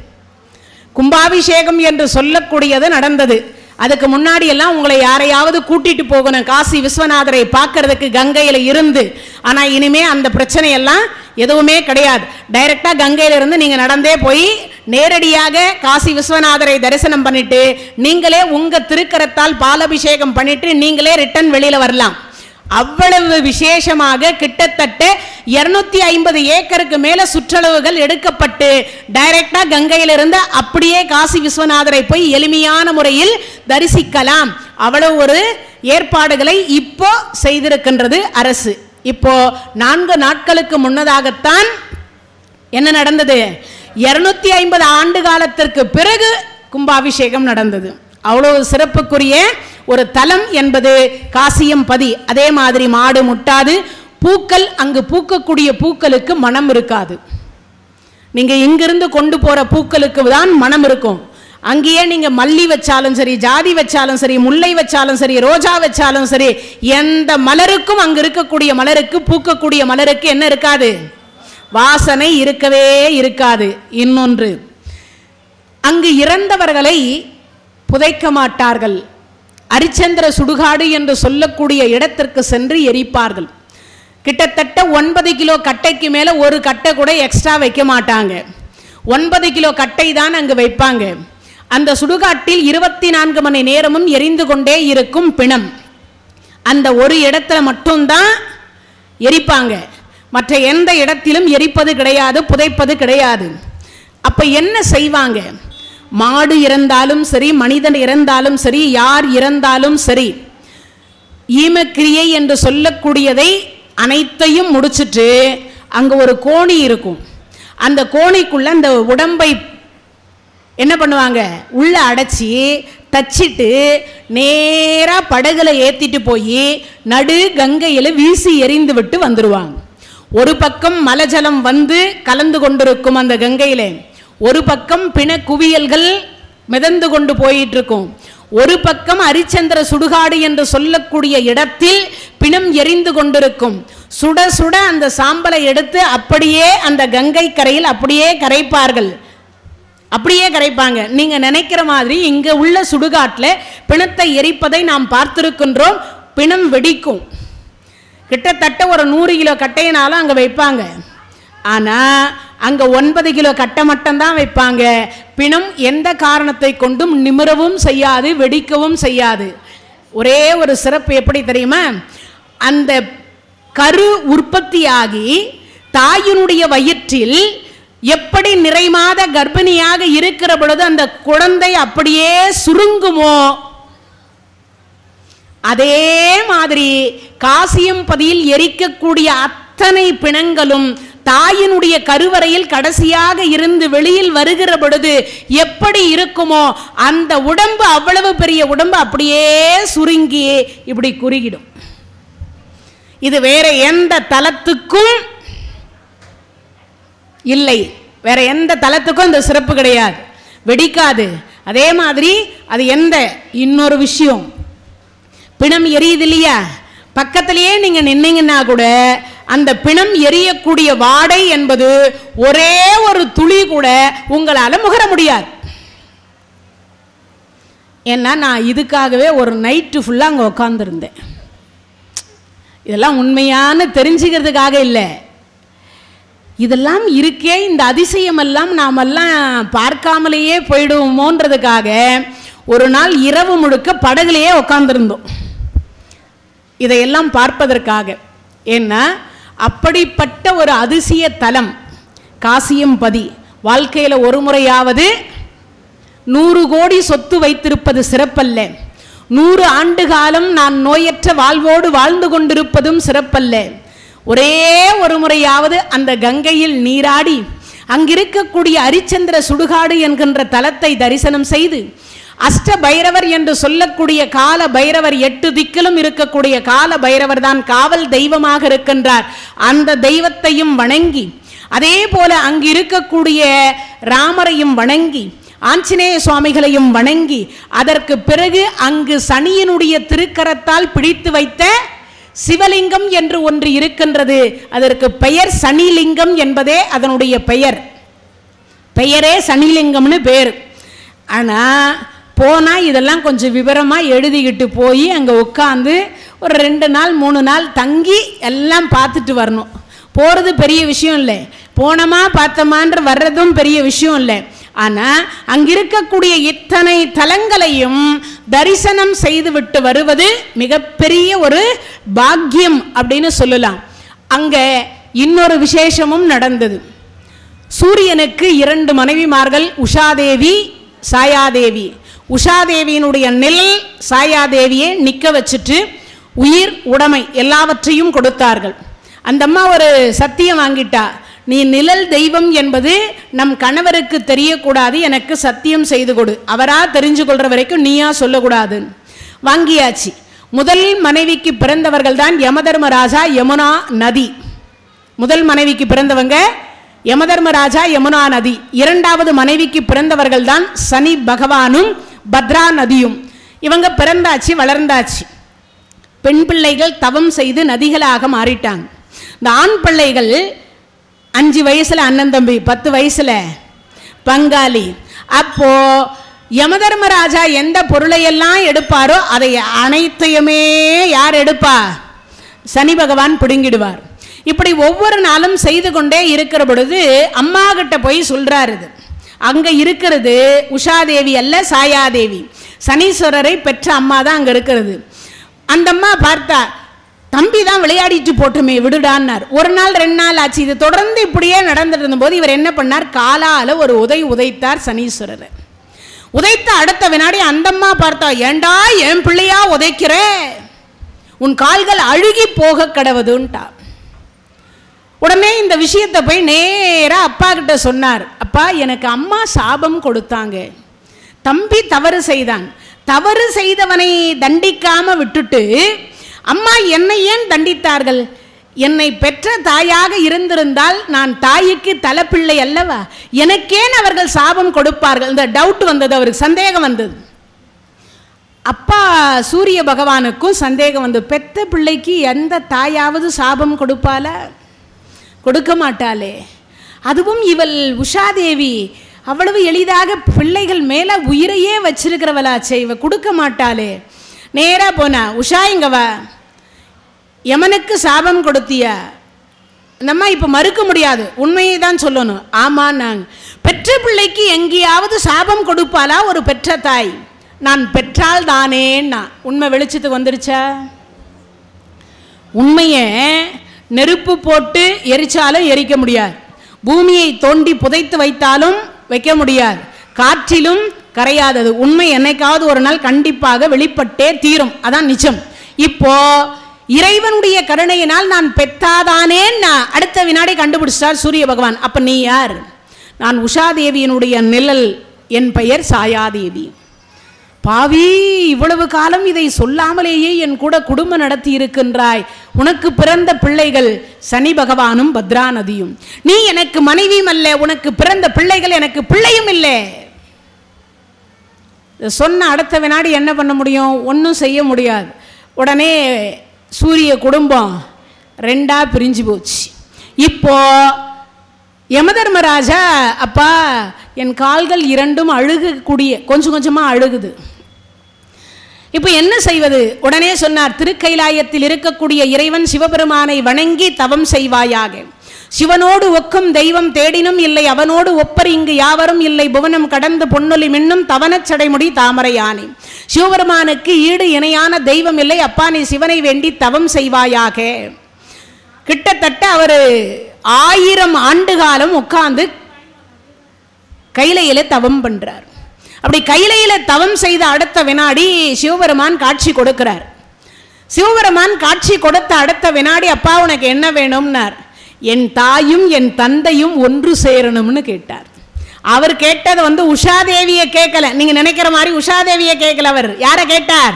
சாயாதேவியை கேட்டார். என் சிறிய தாயாரும் என் தந்தையும் உடன் சேர வேண்டும். என் குடும்பம் மீண்டும் ஒற்றுமையோடு இருக்கணும். டே ரெண்டு கால்களும் அழுகி போக கடவுதுன்னு சாபம் கொடுத்த தாய்க்கு. வாழ்க்கை கேட்குறியடா உன்ன மாதிரி ஒரு பிள்ளைய நான் இதுவரைக்கும் பார்த்ததே இல்லைடா. உனக்கு வேற ஏதாவது வேணுமா கேளு. சுவாமி எனக்கு வேற ஒன்றும் வேணாம். நானே உனக்கு தரம் பட்டம். என்ன பட்டம் கொடுத்தார்? தர்மராஜா என்கின்ற பட்டம். வேற யாருக்குமே தர்மராஜா பட்டம் கிடையவே கிடையாது. யமனை ஒருவரை தவிர வேற யாருக்குமே தர்மராஜா பட்டம் கிடையாது. அந்த த யமதர்ம ராஜா தான் தர்மராஜாவாக வந்து குந்தியினுடைய வயிற்றில் அவதரித்தார். மூன்றே முக்கால் நாளிகைக்குள்ள தூர்வாசர் சொல்லி கொடுத்த மந்திரத்தை சொன்னதனாலே யமதர்ம ராஜாவினுடைய மந்திரத்தை சொன்ன அடுத்த வினாடி மூன்றே முக்கால் நாளிகைக்குள்ள கரு உற்பத்தியாகி குழந்தை பிறந்தது. அவர் யுதிட்டிரன் என்பது திருநாமம். ஆனா யமதர்மராஜாவுக்கு பிறந்ததனால அவருக்கு பெயர் தர்மராஜா என்ற நாமத்தோடு இருந்தார். ஒரே ஒரு செகண்ட் கூட ஒரு பொய்யை கூட சொல்லாத பெருமான் நூத்தி எட்டரை ஆண்டு காலம் வாழ்ந்த பெருமான். கடைசி வரைக்கும் ஒரு பொய்யை கூட சொல்லல. அதே மாதிரி கோபமே படாத ஒரு பெருமான் யமதர்மராஜா. மூணு முறை தான் கோவப்பட்டார் வாழ்க்கையில். இரண்டு முறை பீமசேனரிடத்தில் ஒரு முறை அர்ஜுனரிடத்தில். அப்படிப்பட்ட யமதர்மராஜா தர்மராஜா பட்டம் வாங்கினார். யமன் எல்லா உயிர்களையும் பிடிக்க கடவது என்கின்ற ஒரு நியதியை கொடுத்து அவருக்கு ஒரு தொழிலையும் கொடுத்தார். நீதி தவறாத காலன் என்று சொல்லக்கூடிய காலம் தவறாமல் வரக்கூடியவன். புது மனைவின்னு பார்க்க மாட்டார். மாப்பிள்ளைன்னு பார்க்க மாட்டார். பிறந்த குழந்தைன்னு பார்க்க மாட்டார். வயசானவங்கன்னு பார்க்க மாட்டார். வயசு இருக்கிறவங்கன்னு பார்க்க மாட்டார். மந்திரின்னு பார்க்க மாட்டார். எம்எல்ஏன்னு பார்க்க மாட்டார். ராஜாவானாலும் பார்க்க மாட்டார். சாதாரணமாக இருக்கக்கூடியவர் ஆனாலும் பார்க்க மாட்டார் காலம் தவறாமல் வேலை செய்யக்கூடிய பெருமானுக்கு காலன் என்பது பொருள். இப்போ அந்த காலனாக இருக்கக்கூடிய யமதர்மராஜா பட்டம் வாங்கிட்டார். வாங்கிய உடனே பாவ புண்ணியம் அதெல்லாம் சொல்லி ஒரு லிஸ்ட் கொடுத்துட்டார். அப்பா என்னென்ன உயிருக்கு என்னென்ன எப்படி கொடுக்கணுன்றது இந்த விஷயம் சாயாதேவிக்கு தெரிஞ்சு போச்சு. அடே உங்க அண்ணே சிவனை வேண்டி தவம் இருந்து தர்மராஜா பட்டம் வாங்கிட்டார். நீயும் போய் தவம் பண்ணு. அம்மா அவர் கைலையில தவம் பண்ணார். நான் எங்க போய் தவம் பண்றது? நீ காசியில தவம் பண்ணு. கைலைக்கு நிகரான ஒரு பதி காசியம் பதி. அங்க போய் தவம் பண்ணு. அங்கிருந்து நேரா சூரிய மண்டலத்திலிருந்து காசிக்கு வந்தார் சனி பகவான். கால பைரவர் சொன்னார் யார் நீ? நான் சூரியனுடைய இரண்டாம் தாரத்து பையன் என் பெயர் சனி. ஓ அப்படியா? இங்கே எதுக்கு வந்த? சுவாமி குருநாதா நீங்கள் தான் எனக்கு குரு. சாஷ்டாங்கமாக காலில் விழுந்துட்டார். காரியம் ஆகணும்னா நாமெல்லாம் கூட காலில் விழுறதுல தப்பு கிடையாது. காரியம் ஆகணும்னா காலில் விழுறதுல தப்பு கிடையாது. ஆனால் கல்யாணம் ஆன உடனே மனைவி காலை பிடிச்சி மெட்டிய போடுற கணவன்மார்கள் பெத்த தாய் தந்தையர் காலில் விழுறதுக்கு கூச்சப்படுறாங்க. மனைவி காலை தொட்டு மெட்டி போட்டக்கூடிய அதே மணமகன் பெற்ற தாய் தந்தையர் காலில் விழுந்து வணங்குவதற்கோ பாத பூஜை செய்வதற்கோ கூச்சப்படுறாங்க இந்த காலத்தில். பிள்ளைங்க. ஆனால் யார் ஒருவர் தாய் தந்தையர் காலை வணங்குகிறார்களோ அவங்கெல்லாம் காசிக்கு போகணும்னு அவசியம் இல்லை. காரணீஸ்வரரை தரிசிக்கணும்னு கூட அவசியம் இல்லை. ஆனால் யார் இப்போ இந்த காலத்தில் செய்கிறாங்க நீ தாயா நீ? பேய். உன்னெல்லாம் என்னை அப்பான்னு சொல்லிக்கிறதுக்கு வெளியில் எனக்கு வெக்கமாக இருக்குது. பக்கத்து வீட்டுக்காரன் சேர்த்து வச்சுக்கிறான் நூறு கோடி. நீ எனக்கு தெரு கோடியில் வச்சுக்கிற என்ன? நீ எல்லாம் அப்பனா நீ? இன்னைக்கெல்லாம் அப்படி தான் கேட்குறாங்க ஆனால் தாய் தந்தையரை வணங்கிட்டா நமக்கு என்ன தேவையில்லை? வேற எதுவுமே தேவையில்லை. அதனால் இவர் என்ன பண்ணார்? இப்போ அப்பா நமக்கு துணை இல்லை. அம்மா தான் துணை. அம்மா காட்டிய வழியில் நம்ம எப்படியும் இறைவனை அடைந்து விடலாம் என்பதற்காக நேராக வந்தார். காலபைரவர் தடுத்தார். என் அனுமதி இல்லாமல் நீங்கள் தவம் பண்ண முடியாதுன்னார். சுவாமி நீங்களே எனக்கு குருவாக இருந்து இந்த தவத்திற்கு உதவி செய்யுங்க. உங்கள் அப்பா சீக்கிரமாக காட்சி கொடுக்கணும். ஏன்னா நிறைய பேருக்கு இன்னும் தெரியாது. சிவபெருமானுக்கும் பார்வதி அம்மையாருக்கும் எத்தனை குமாரர்கள்? நான்கு திருக்குமாரர்கள். மூத்த பிள்ளை விநாயக பெருமான் இரண்டாவது பிள்ளை கால பைரவர் மூன்றாவது பிள்ளை வீரபத்ர சுவாமி நான்காவது திருக்குமாரர் வேலவராக இருக்கக்கூடிய முருகப்பெருமான். ஏன்னா நிறைய பேருக்கு ரெண்டு பேரை தான் தெரியும் ரெண்டு பேரை தெரியவே தெரியாது. அதுக்காக தான் சொல்கிறேன் இப்ப சனி பகவான் சொன்னார் உங்கள் தந்தை எனக்கு காட்சி கொடுக்க வேண்டும் அதற்காக நான் தவம் இருக்கின்றேன். நீங்களே எனக்கு குருவாக இருந்து என்னை வழி நடத்துங்கள்னார். அவர்கிட்ட அனுமதி வாங்குறதுக்கு சில காலம் அவருக்கு தொண்டு செய்த பிறகு அவர் ஒரு இடம் கொடுத்தார். இங்கு உன் கரத்தால் பிடித்து கங்கையில் இருக்கக்கூடிய மணலை எடுத்து கொண்டு வந்து உன் கரத்தால் சிவலிங்கத்தை அமைத்து நீ பூஜை செய்வாயாக. ஆயிரம் வருஷம் சனி லிங்கம் அமைத்து பூஜை பண்ணார். பூஜை ஆயிரம் வருஷம் சிவபெருமான் காட்சி கொடுக்குறார். அப்பா உனக்கு என்ன வேணும்? சுவாமி இது வரைக்கும் யாருக்கும் கொடுக்காத எனக்கு கொடுங்கோ. எங்க அண்ணாவுக்கு தர்மராஜா பட்டம் கொடுத்தீங்கல்ல? எனக்கு தர்மராஜா பட்டமெல்லாம் வேண்டாம். எனக்கு தர்மராஜா பட்டம்லாம் வேண்டாம். எனக்கு இதுவரைக்கும் யாரும் வாங்காத பட்டமாக இருக்கணும். அந்த பட்டம் எனக்கு வேணும். சிவபெருமான் பார்த்தார் நீயே கேளு என்ன வேணுமோ கேள். கொடுப்பதற்கு வந்துட்டேன். நான் என்ன திரும்பியா போக போகிறேன் கேட்டதெல்லாம் கொடுக்குறேன் கேள் அப்படின்னார். ஒன்றும் இல்லை சுவாமி. ஈஸ்வர பட்டம் வேணும்னார். முத முதல்ல யாருக்கு ஈஸ்வர பட்டம் கொடுத்தார்? சனீஸ்வரருக்கு தான் முதல்ல கொடுத்தார் ஈஸ்வர பட்டம். கொடுத்து முடிச்சிட்டார். முடித்த உடனே புறப்பட்டார். சுவாமி கொஞ்சம் நில்லுங்கோன்னார். ஆயிரம் வருஷம் தவன் இருந்திருக்கேன் ஒரே ஒரு பட்டத்தை கொடுத்துட்டு நீங்கள் பாட்டுக்கு போயிடலான்னு நினைக்கிறீங்களா? மறுபடியும் ஒரு ஆயிரம் வருஷம் நான் தவம் இருக்க முடியுமா? அதெல்லாம் என்னால் முடியாது சுவாமி. அதனால் வந்தது தான் வந்தீங்க. நான் கேட்குற அத்தனையும் கொடுத்துட்டு அதுக்கப்புறமா போங்கோன்னார். அப்போ வேற என்ன வேணும்? ஆமாம் ஏற்கனவே எட்டு பேர் இருக்கிறாங்களா? அதில் ஒன்பதாவதாக என்னையும் சேர்த்துக்கோங்க. யாருப்பா அது எட்டு பேர்? நவகிரகங்களில் எட்டு பேர் இருக்காங்கல்ல. அதனால் இப்போ நானும் சேர்ந்தேன்னா ஒன்பதா ஆயிடும். அதனால் ஒம்பது பேராக நவகிரகத்தில் எனக்கும் ஒரு இடம் கொடுங்க. சரி கொடுத்துட்டேன். அப்படியே ஆகட்டும். ஆனால் அதில் ஒரு கண்டிஷன் சுவாமி. என்னப்பா? ஒன்றும் இல்லை சுவாமி. எங்கள் அப்பா மூஞ்சில நான் முழிக்கவே கூடாது. இது என்னடா இது? எப்படிப்பா அப்படியெல்லாம் கொடுக்க முடியுமா? அதெல்லாம் எனக்கு தெரியாது சுவாமி. அந்த மாதிரி ஒரு இடமா எனக்கு கொடுங்க நவகிரகத்தில். ஏன்பா? எங்கள் அம்மா தானே சொல்லாமல் போய் சொல்லி அவர் கூட வாழ்க்கையை நடத்தி எங்களை பெற்றுக்கிட்டா நானா தப்பு பண்ணேன்? எனக்கும் எங்கள் அண்ணனுக்கும் தான் சண்டை. அது நாங்கள் ரெண்டு பேரும் அண்ணன் தம்பிங்க அடிச்சுப்போம் நாளைக்கே ஒன்றா கூடிப்போம். அது எங்களுக்குள்ளே இருக்கக்கூடிய பஞ்சாயத்து. ஆனால் எங்கள் அம்மா செய்த தவறுக்கு பிள்ளை நான் ஏன் தண்டனை அனுபவிக்க வேண்டும்? தண்டனை கொடுப்பதாக இருந்தால் என் தாய்க்கு மட்டும் கொடுத்திருக்க வேண்டும். அவர் என்னையும் சேர்த்து நீ எனக்கு பிள்ளையே இல்லை என்று சொன்னார். அது எந்த விதத்தில் நியாயம்? அதனால் நான் அவர் முகத்தில் முழிப்பதாக இல்லை. அப்படியாப்பா? சரி இப்போ என்னப்பா செய்யணும்? ஒன்றும் இல்லை நவகிரகத்தில் அவர் எந்த பக்கம் பார்த்துட்டுருக்கார் அவர் எப்பயுமே கிழக்க தான்ப்பா பார்ப்பார். அப்போனா நான் மேற்க பார்க்குறேன். ரெண்டு பேரும் ஒருத்தருக்கு ஒருத்தர் இன்னைய வரைக்கும் பார்த்துக்கவே இல்லை. நாலு யுகம் ஆயிருக்குது. எவ்வளவு? நாலு யுகமாயிரு இன்னைய வரைக்கும் பார்த்துக்கவே இல்லை. சனி ஏழரை சனி அஷ்டமத்து சனி அஷ்டோத்தர சனி மங்கு சனி பொங்கு சனின்னு பல சனிகள் உண்டு. அதில் ஏழரை சனி என்பதுதான் அதிக துன்பம் என்று சொல்லக்கூடியதை தரவல்லது. அவரவர்கள் வாழுகிற பொழுது செய்யக்கூடிய தவறுகளுக்கு ஏற்றார் போல செய்யக்கூடிய பாவத்திற்கு ஏற்றார் போல நமக்கு தண்டனை தரக்கூடிய பெருமானாக சனி பகவான் இருக்கின்றார். அப்படிப்பட்ட சனி பகவான் நவகிரகங்களில் ஒருவராக அங்குதான் பட்டம் வாங்கினார். இப்போ அதுக்கு அடுத்து ஒன்று கேட்டார். சுவாமி பட்டம் கொடுத்துட்டீங்க. எனக்கு வேலை என்ன? அப்பா முப்பது வருஷத்துக்கு ஒரு வாட்டி நீ வலம் வா. அப்படியா? சரி. நான் என்னென்ன வேலை செய்யணும்? அப்பா நீ பக்கத்து வீட்டுக்கு போகிறதுக்கே கிட்டத்தட்ட ரெண்டரை வருஷம் ஆகும்.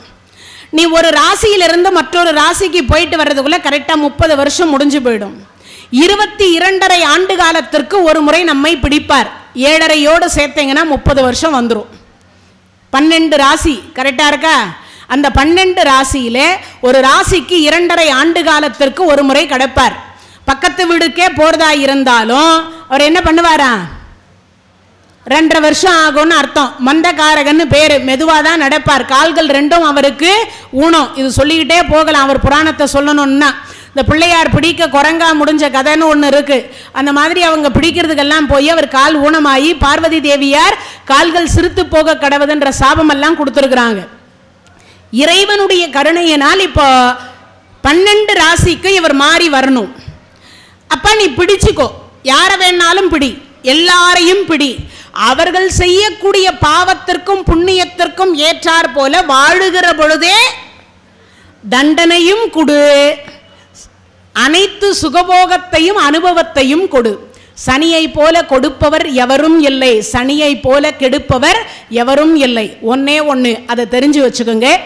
அப்பம்மா செய்யக்கூடிய கர்மவினை தாத்தா பாட்டி செய்யக்கூடிய கர்மவினை தான் முன் ஜென்மத்தில் செய்த கர்மவினை. இது மூன்றும் சேர்த்து பெனால்டி போட்டு வட்டியும் முதலுமாக ஏழரையில் நாம அனுபவிக்க வேண்டும்.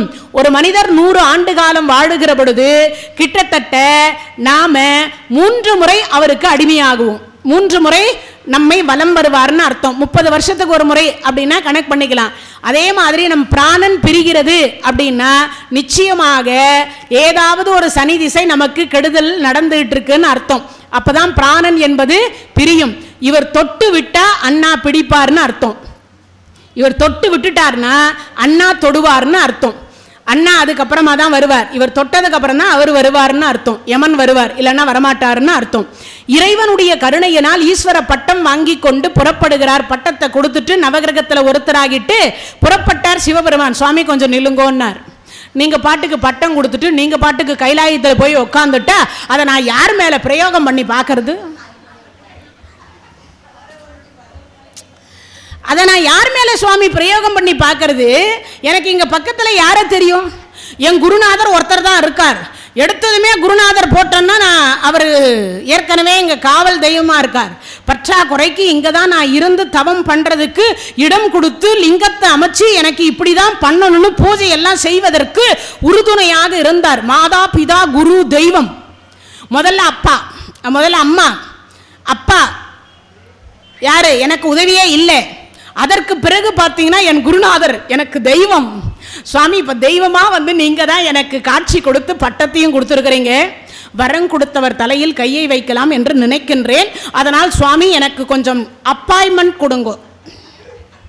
நேரம் ஒதுக்கி கொடுங்கோ. டே அப்பா நான் ரொம்ப வந்து பிஸியான ஆள்.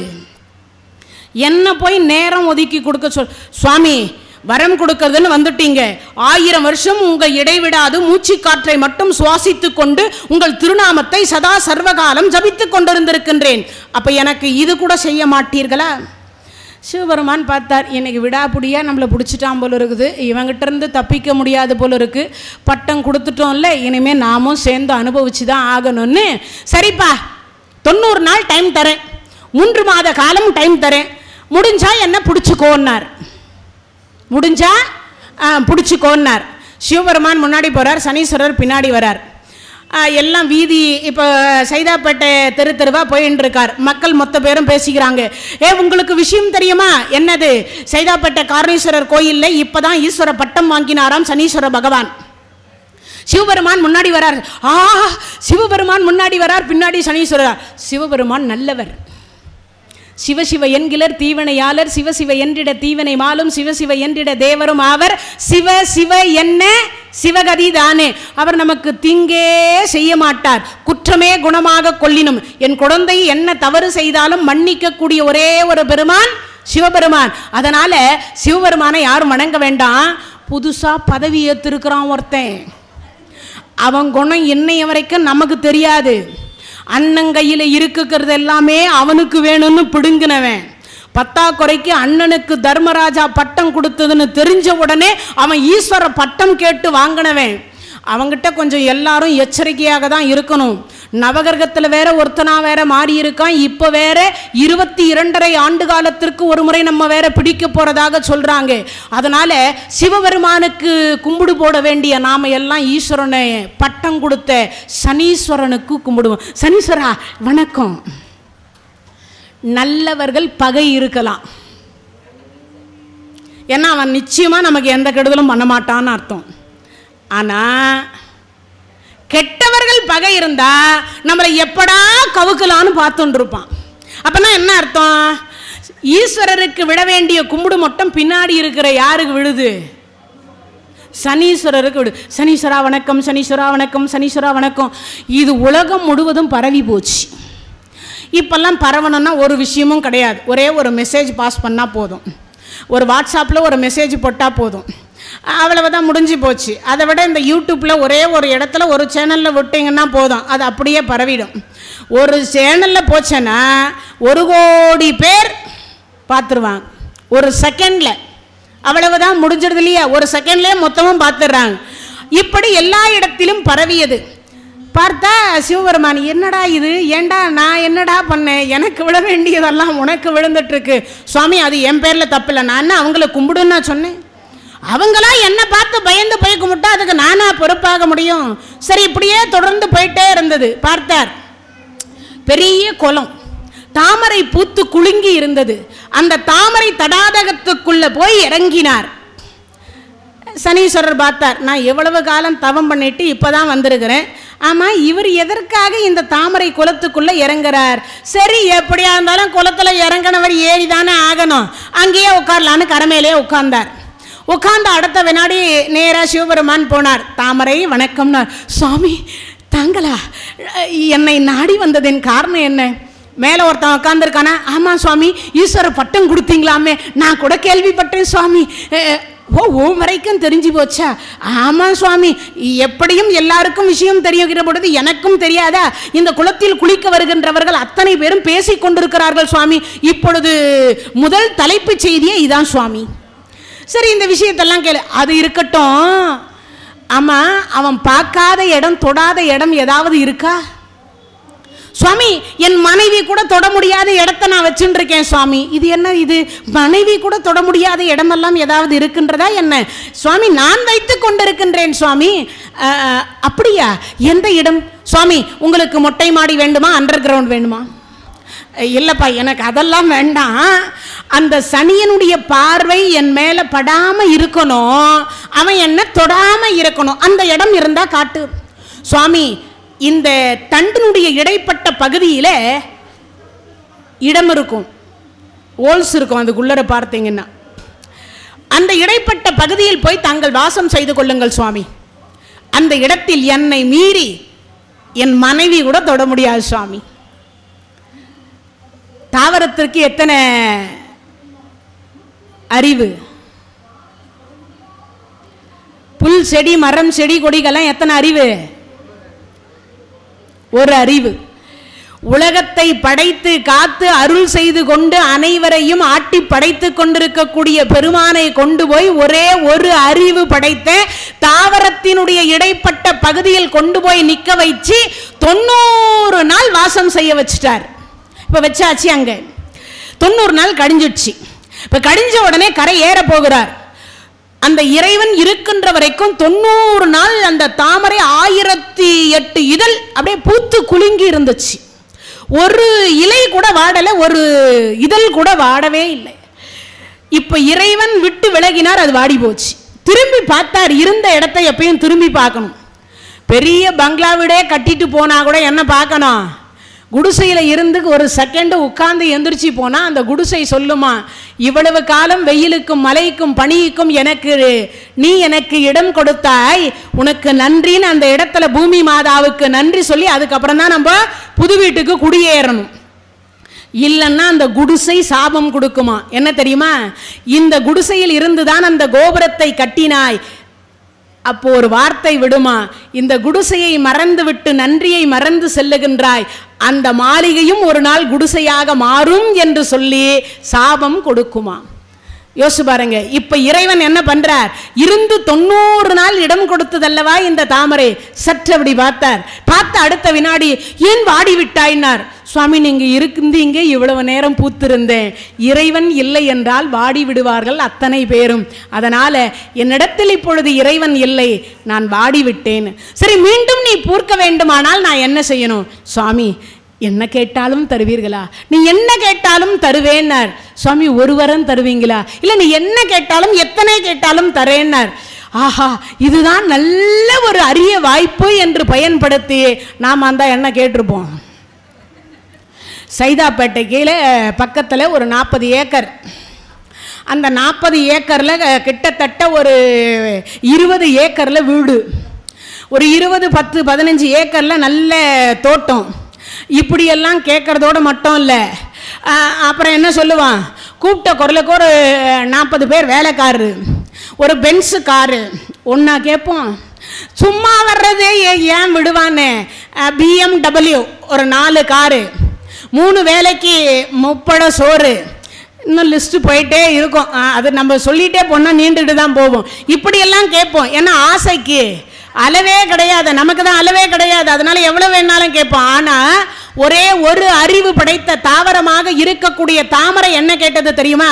இறைவா உலகத்தில் இருக்கக்கூடிய அனைத்து கடவுளையும் பூஜிக்கக்கூடிய முதல் மலர் நானா இருக்க வேண்டும் என்று கேட்டது. எல்லாரும் கை தட்டலாமே.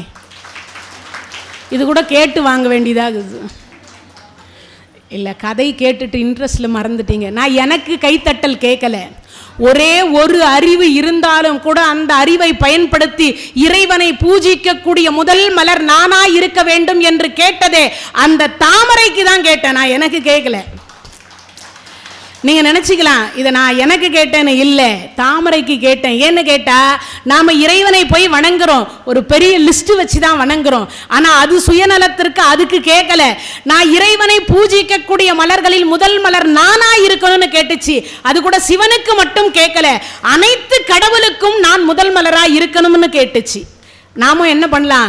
இறைவனை வணங்குவதற்கு இறைவா இப்பிறவி போனாலும் எப்பிறவி வாய்த்தாலும் கூட இரவாத இன்ப அன்பு வேண்டிப்பின் வேண்டுகின்றார். பிறவாமை வேண்டும் மீண்டும் பிறப்புண்டேல் ஐயனே உன்னை மறவாமை வேண்டும் இன்னும் வேண்டும். அறவாணி ஆடுகின்ற பொழுது மகிழ்ந்து பாடி உன் அடியின் கீழ் இருக்க வேண்டும் என்று காரைக்கால் அம்மையார் கேட்டதற் போல நாமும் கேட்கணும். இப்போ அதை தான் அது கேட்டுச்சு. ஒன்று கொடுத்துட்டு ரிட்டன் திரும்பினார். அப்பா வரட்டுமான்னார். சுவாமி என்னது இது சுவாமி? மூணு மாதம் இடம் கொடுத்துருக்குறேன். உலகத்துக்கே படியலக்கிற ஈஸ்வரன்னு சொல்லிக்கிறாங்க. ஒரு வரம் கொடுத்துட்டு போகிறீங்களே நியாயமா சுவாமி? சரிப்பா என்னப்பா வேணும்? ஒன்றும் இல்லை சுவாமி. ஆய கலைகள் அறுபத்தி நான்குக்கும் சொந்தக்காரியாக இருக்கக்கூடிய சரஸ்வதி தேவியார் என் மீது அமர்ந்து காட்சி கொடுக்க வேண்டும். வெண் தாமரை மலர் மீது. தந்தேன்னார். அடுத்து ஒரு அடி எடுத்து வச்சு திரும்பி பார்த்தார். மறுபடியும் வாடி இருந்தது. இது என்னது? மனிதர்கள் ஆசையை காட்டிலும் இந்த தாவரத்துக்கு அதிக ஆசை இருக்கும் போல இருக்கேன்னு நினச்சி அடுத்து என்னன்னார்? ஒன்னல்ல சுவாமி எட்டு லட்சுமி என்று சொல்லக்கூடிய மகாலட்சுமி செந்தாமரை மலர் மீது அமர்ந்து காட்சி கொடுக்க வேண்டும் அப்படின்னுச்சு அதையும் தந்தேன்னு சொல்லி அடுத்த அடி எடுத்து வச்சு திரும்பி பார்த்தார். மறுபடியும் வாடி இருந்தது. மூணு வாரம் கொடுத்து இன்னமும் வாடி இருக்கே என்னன்னார்? ஒன்றும் இல்லை சுவாமி. இந்த கரை மேலே ஒருத்தன் உட்காந்துருக்கான்ல ஆமாம் உங்களையே பிடிச்சி இந்த ஆட்டை ஆட்டுறான்னா இந்த உலக மக்களை எந்த ஆட்டை ஆட்டி படைப்பானோ தெரியல சுவாமி. அதனால் முந்நூறு அதாவது தொண்ணூறு நாள் இருந்து நீங்கள் வாசம் பண்ணீங்கல்ல. இந்த மூன்று மாத காலம் வாசம் செய்தீர்கள்ல. அதை ஒடிக்கிற பொழுது ஒரு நூல் வரும் அல்லவா? அந்த தாமரை தண்டனுடைய நூலை கொண்டு எவர் ஒருவர் சிவாலயத்திலேயோ அல்லது தங்கள் இல்லத்திலேயோ குறைந்தபட்சம் ஒரு பதினோரு நாள் இருபத்தி ஒரு நாள் நாற்பத்தி எட்டு நாள் விளக்கேற்றுகிறார்களோ அவர்களுக்கு இந்த ஏழரை சனி அஷ்டமத்து சனி அஷ்டோத்திர சனி அப்பம்மா செய்த பாவம் தாய் தந்தையர் செய்த பாவம் முன் ஜென்மத்தில் செய்த பாவம் மூதாதையர்கள் செய்த பாவம் இது அத்தனையும் விலகி சுவாமி இன்னும் நான் முடிக்கலன்னார். தந்தேன்னு சொல்லி இப்படி கையை தூக்கலான்னு பார்த்தா சுவாமி இன்னும் நான் முடிக்கலன்றார் இவர். இந்த தாவரம் சொன்னோன்னே என்னன்னார் ஒன்றும் இல்லை சுவாமி இந்த விளக்கு ஏத்துறாங்க இல்லையா? அப்படி ஏற்றியவர்களுக்கு இவ்வளவும் தந்த பிறகு இன்னும் ஒன்னையும் நீங்க தரணும் சுவாமி. என்னது? திருக்கைலாயத்தில் இடம் தரணும் சுவாமி. நமக்காக வாதாடிய ஒரு ஒரு அறிவு தாவரம் தாமரை. எல்லாம் எவ்வளவு அற்புதமான ஒரு விளையாடல் இல்லையா? எவ்வளவு சிறப்பு பாருங்க. அப்போ அதை கேட்ட அடுத்த வினாடி கொடுத்து விட்டு திரும்பி இறைவன் அங்கிருந்து புறப்பட்டார். இப்பொழுது பூத்து குலுங்குகின்றது அந்த தாவரமாக இருக்கக்கூடிய தாமரை. அடுத்த வினாடி அங்கு போன கரை ஏறுறார். சிவபெருமான் அங்கு பார்த்தார் சனீஸ்வரரை. சனீஸ்வரா இன்னுமா நீ போகலேன்னார். சுவாமி வரம் கொடுத்து எங்க அப்பனுக்கு எதிர் திசையில என்ன நிக்க வச்சு நவகிரகத்துல ஒருத்தராக ஆக்கி அது மட்டும் இல்லாம பாவ புண்ணியத்திற்கு ஏற்றார் போல பலனையும் கொடுக்க வச்சு ஈஸ்வர பட்டத்தை கொடுத்த உங்களுக்கு நன்றி சொல்லிட்டு போக வேண்டாமா? அது மட்டும் இல்லை இந்த தொண்ணூறு நாள் நீங்க இருந்தீங்கல்ல நீ தான் என்னை தொடவே இல்லையே. என்னை தான் நீ பிடிக்கவே இல்லையே. யார் சொன்னது சுவாமி? ஒரே ஒரு அறிவு படைத்த தாவரத்தினுடைய இடைப்பட்ட பகுதியில் கொண்டு போய் உங்களை மனைவியை பார்க்காம குழந்தைகளை பார்க்காம ஊரை பார்க்காம உலகத்தை பார்க்காம முப்பத்தி முக்கோடி தேவர்கள் உங்களை வணங்காம எங்கு சிவபெருமான் காணவில்லை எங்கு சிவபெருமான் காணவில்லை என்று தொண்ணூறு நாளாக உலக மக்கள் அனைவரும் பேப்பர்ல இருந்து டிவியில இருந்து அனைவரும் எங்க போட்டு வலை போட்டு தேடிக்கொண்டிருக்க நீங்க ஒரு அறிவு படைத்த தாவரத்தின் இடைப்பட்ட பகுதியில் தாமரை தண்டுக்கு இடைப்பட்ட பகுதியில வாசம் செய்ய வைத்திருக்கிறேனே அதுதான் சுவாமி நான் உங்களை பிடித்த காலம் என்றது. இறைவன் தெரியாமலேயா போய் அங்க நின்னார்? இல்லைங்க. தெரிஞ்சே நின்னார். ஏன் தெரியுமா?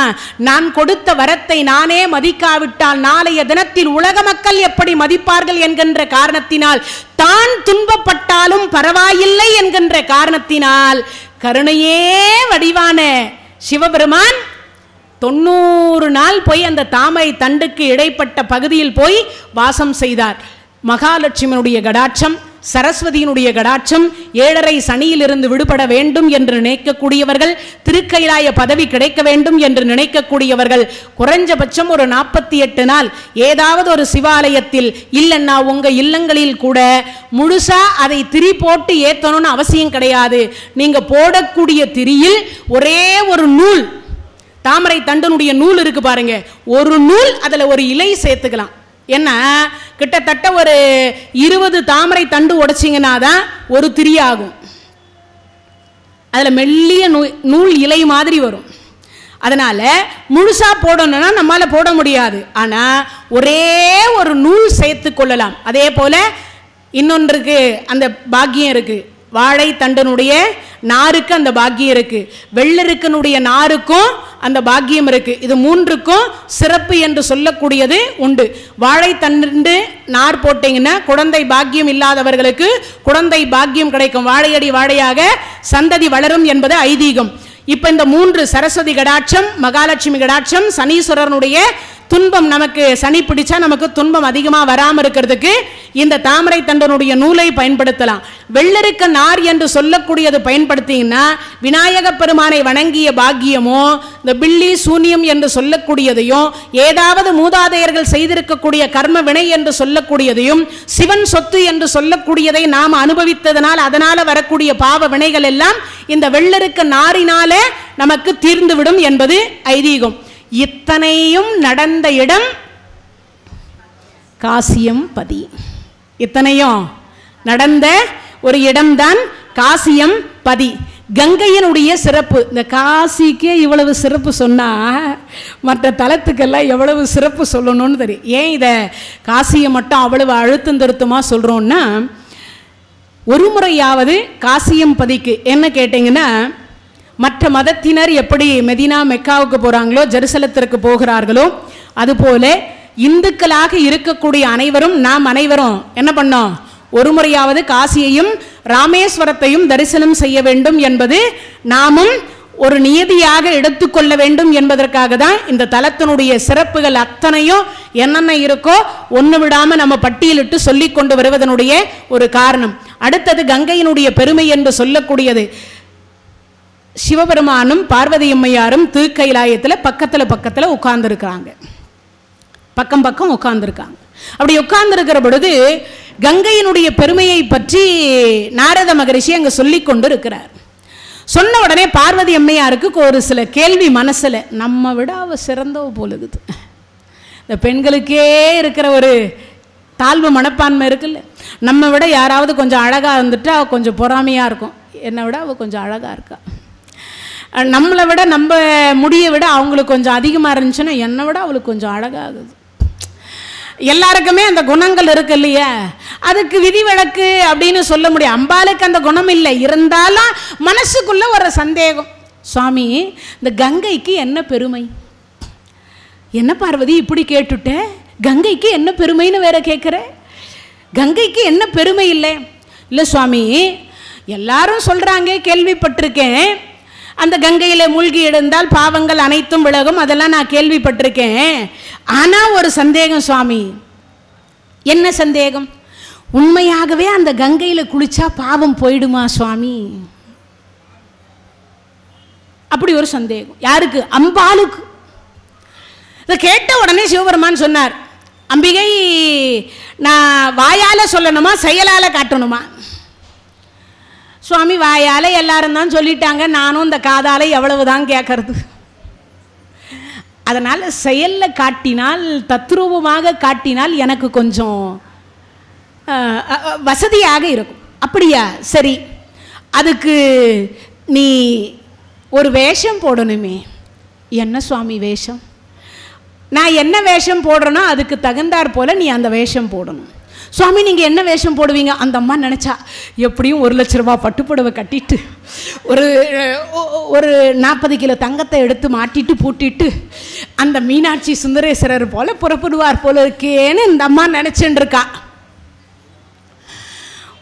உச்சந்தலையிலிருந்து உள்ளங்கால் வரைக்கும் ஒயிட் அண்ட் ஒயிட் இந்த கண்ணு முடியிலிருந்து இந்த புருவம் வரைக்கும் எல்லாம் ஒயிட்டு பார்வதி புறப்படலாமா?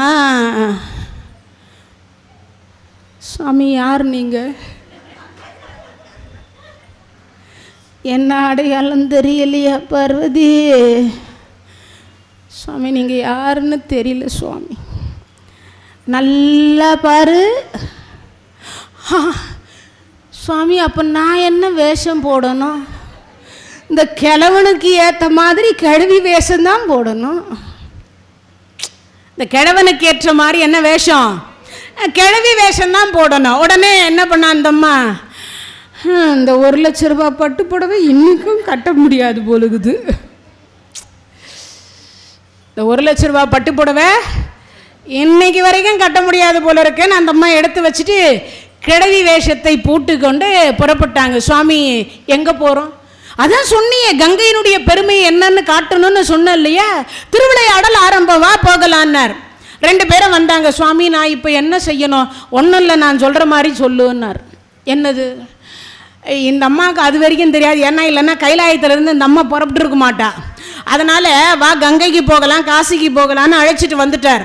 வந்தவர் கங்கையினுடைய படித்துறையில் உட்காந்துட்டார் எல்லாம் வந்து ஆயிரக்கணக்கான பேர் உட்கார்ந்து உட்கார்ந்து உட்கார்ந்து உட்கார்ந்து குளிச்சுட்டு இருக்கிறாங்க எல்லாம் அவரவர்கள் பாவத்தை கழுவுவதற்காக குளிக்கிறாங்க.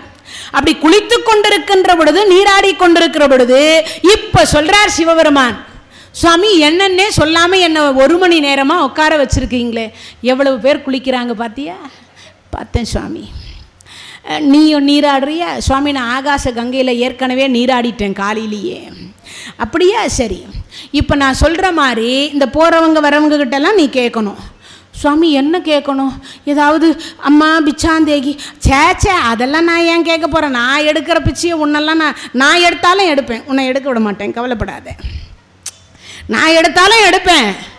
உன்னை விட மாட்டேன். ஏன்னா ஈஸ்வரன் பொண்டாட்டி பிச்சை எடுத்தாலான்ற பேரெல்லாம் வேண்டாம். அதனால் நான் என்ன எடுத்துக்கிறேன்? நீ ஒன்றும் கவலைப்படாதே. சுவாமி என்ன தான் கேட்கணும்? பார்வதி மனசை கொஞ்சம் திடப்படுத்திக்கோ. தைரியம் அதெல்லாம் கைவிடக்கூடாது. சுவாமி நான் எப்பொழுதுமே வீரத்தில் சிறந்த பெண். எனக்கு பேரே வந்து ஆதி பராசக்தி அப்படின்னு பேர். அதனால் வீர திருமகள்னே பட்டம் கொடுத்துக்கிறாங்க எனக்கு. மலைமகள் என்கின்ற பட்டம் கொடுத்துருக்குறாங்க. அதனால் எனக்கு ஒன்றும் அந்த பயம்லாம் இல்லை. ஆனால் நான் இப்போ சொல்ல போகிற விஷயத்தை கேட்டேன்னா கண்டிப்பாக பயப்படுவேன். அதுக்காக தான் நான் முன்னெச்சரிக்கையாக சொல்லி வைக்கிறேன்னாரு. என்னமோ தெரியல என்னென்னமோ சொல்கிறாரு ஆனால் ஒன்றும் புரிய மாட்டேங்குது. எனக்கு எவ்வளவு வயசு இருக்கும் பார்வதி? போட்டுக்கிறது கிழமை வேஷம். இல்லை வேறு வயசு என்ன இருக்கும்னு வேறு கேள்வி வேறு. என்ன ஒரு தொண்ணூத்தொம்பது இருக்கும்? ஏன் பார்வதி? எல்லாரும் சொல்கிறாங்களே ஒரு நூற்றி நூற்றி அஞ்சு நூற்றி பத்து அப்படி சொல்லக்கூடாதா? தொண்ணூற்றி ஒம்போதோடவே நிறுத்திட்டியே. இது என்ன சுவாமி? தொண்ணூத்தொம்பதே இருக்கட்டும் சுவாமி. ரெண்டு ஒம்பது நல்லா இருக்குது. ராசியான நம்பரு அப்படியா? சரி. உனக்கு என்ன இருக்கும்? என்ன சுவாமி எனக்கு ஒரு தொண்ணூற்றி எட்டு இல்லை ஒரு தொண்ணூற்றி ஏழரை இருக்கும் சுவாமி. அப்படியா? இப்போ உனக்கு ஏழரை தான். சொன்னாலும் சொல்லலைனாலும்.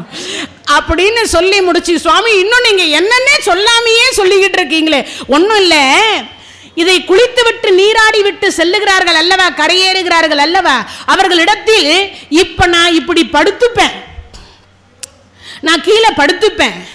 என் உயிர் ஊசலாடி கொண்டிருக்கும். சிவ சிவா! சுவாமி இதுக்காகவா என்ன கூட்டிட்டு வந்தீங்க? இப்படின்னு சொல்லியிருந்தீங்கன்னா நான் அங்கிருந்து வந்தே இருக்க மாட்டேன். அது இப்படின்னு நான் சொல்லாமல் கூப்பிட்டதுனால தான் நீ இங்கே வந்த. அது எனக்கு தெரியும். ஆனால் இப்போ நீ கேட்டலையா கங்கையினுடைய பெருமை என்ன என்று எனக்கு திருவிளையாடல் மூலியமாக காட்டி அருளுங்கள் என்ப அல்லவா? அதனால் இப்பொழுது நான் காட்டி அருளுகின்றேன். உடனே சொன்னார் அப்படியே? பின்வாங்க கூடாதுன்னு நான் முன்னாடியே சொல்லிட்டேன். வாங்க மாட்டேன் சுவாமி. என்ன சுவாமி சொல்லணும்? ஒன்றும் இல்லை. அவங்கக்கிட்ட இப்படி உன் மடியை ஏந்தி கொண்டு ஐயா நீங்க கோடி பாவம் செய்திருந்தாலும் கூட இந்த கங்கையில் அந்த கோடி பாவம் மூழ்கி எழுந்த உடனே தீர்ந்துவிடும். ஐயா புண்ணியவான்களே இவர் என் கணவர் இவர் பேர் சுந்தரேஸ்வரர் என் பேர் சொர்ணாம்பிகை. ஐயா உங்க திருக்கரத்தால எந்த புண்ணியவானாவது இந்த ஐயாவினுடைய வாயில ஒரு மூணு கை தண்ணி ஊத்துனீங்கன்னா எங்க வீட்டுக்காருக்கு உயிர் வந்துடும் ஐயா. ஐயா புண்ணியவான்களே தண்ணியை ஊத்துங்கோ. இது என்னடா வம்பா போச்சு? ஏற்கனவே பண்ண பாவம்லாம் போகணும்னு தான் அந்த கங்கையில் வந்து நீராடிட்டு கரையேறி கொண்டு இருக்கிறோம் இந்த தண்ணியை எடுத்து ஊத்துற நேரம் பார்த்து இந்த கிடம் கைலாய பதவியை அடைஞ்சிருச்சேன்னா அந்த பாவத்துக்கு வேற நான் எந்த கங்கையில் போய் மூழ்குறது? ஒரே ஒருவர் கூட அந்த தண்ணியை எடுத்து ஊத்தலை. இப்போ அம்பாள் வெற்றி பெற்றதா நினைப்பாளா? மனசுக்குள்ள பக்கு பக்குன்னு இருக்குமா? இந்த இருதலை கொள்ளி எலும்புன்னு ஒரு இருக்குல்ல ஒரு மூங்கில். அந்த மூங்கிலுக்கு சென்டரில் ஒரு கட்டெரும்பு இருக்கு. இந்த பக்கமும் தீ பிடிச்சிருச்சு இந்த பக்கமும் தீ பிடிச்சிருச்சு. இப்போ எந்த பக்கம் அந்த எறும்பு வந்தாலும் அந்த எறும்புக்கு கைலாய பதவி நிச்சயம். இப்போ அந்த நிலையில நிக்கிறா வெற்றி பெற்று விட்டேன்னு சொன்னா இறைவன் என்ன ஆவார்னு தெரியாது. ஆனால் இறைவன் இல்லைன்னா நமக்கு இங்கே வைக்கிறதும் கிடையாது இங்கே சூடிக்கிறதும் கிடையாது. அப்போ என்ன பண்ணுறது யோசித்து பார்த்தா சுவாமி அந்த கங்கையின் மீது நான் பொறாமை கொண்டிருப்பது எல்லாம் நினைக்கல சுவாமி. தங்கள் பிராணன் என்று சொல்லக்கூடியது கிடைத்தால் போதும் நான் என்றும் சுமங்கலியாக இருக்க வேண்டும். ஐயா புண்ணியவான்களே யாராவது ஒரு கை தீர்த்தத்தை என் கணவருக்கு ஊற்ற மாட்டீர்களா?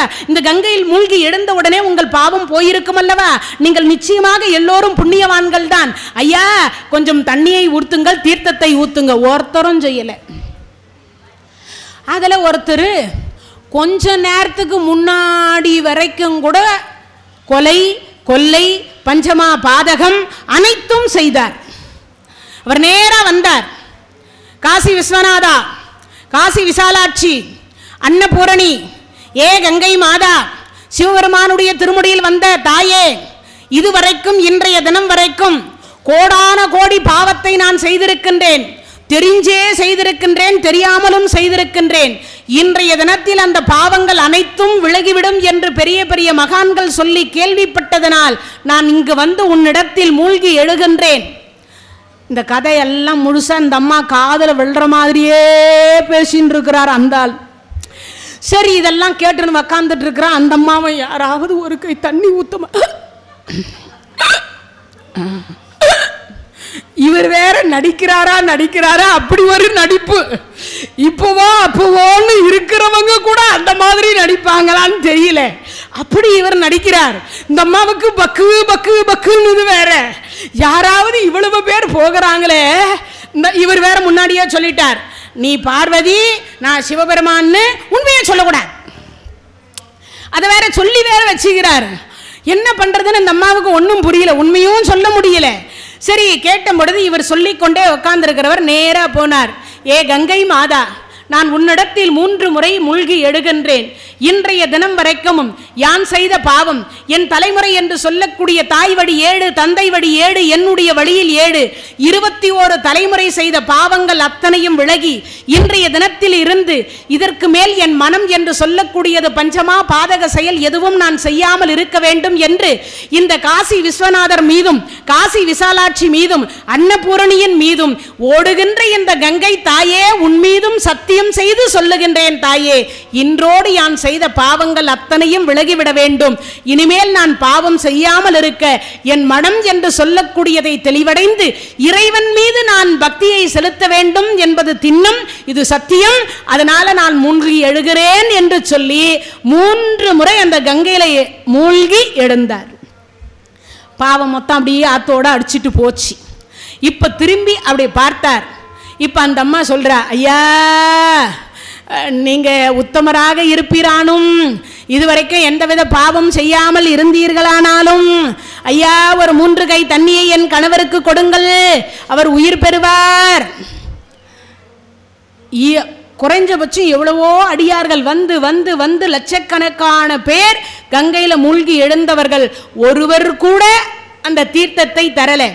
ஆனால் கொஞ்ச நேரத்துக்கு முன்னாடி வரைக்கும் பாவத்தை செய்து கொண்டு அந்த நேரிடத்தில் கூட சண்டை போட்டு வந்து கங்கையில் மூழ்கி எழுந்தவர். இப்போ நேராக வந்தார். இந்த கங்கையில் மூழ்கினால் அனைத்து பாவங்களும் தீர்ந்துவிடும் என்பது நிஜமானால் நான் இப்பொழுது இவருக்கு உயிர் தீர்த்தம் தருகிறேன் அந்த கங்கை தீர்த்தத்தை கொண்டு வந்து அப்படி வாயில விட்டார். சிவபெருமான் பதினாறு வயசு இளங்குமரனா எழுந்து உக்காந்தார். அந்த அம்மா அப்படி உத்து பார்த்தா தன்னை தானே இப்படி பார்த்தா அப்போ அவருக்கு பதினாறுனா இந்த அம்மா என்னவா மாறி இருப்பாளோன்னு அப்படி பார்த்த உடனே அந்த அம்மாவும் பதினாறு வயசு இளங்குமரியாக உட்காந்துருந்தாங்க இதை பார்த்த அடுத்த வினாடி பார்வதி தேவியார் இறைவனை வணங்கி சொன்னாங்க சுவாமி கங்கையின் புனிதத்தை நான் தெரிந்து கொண்டேன். என்னை மன்னியுங்கள். கங்கையின் மீது வைத்திருந்த பொறாமையின் காரணமாக திருவிளையாடலை கேட்டேன். அது என் திருமாங்கல்யத்திற்கே பங்கம் விளைவிக்கும் என்றதை நான் சற்றும் எதிர்பாராத ஒன்று.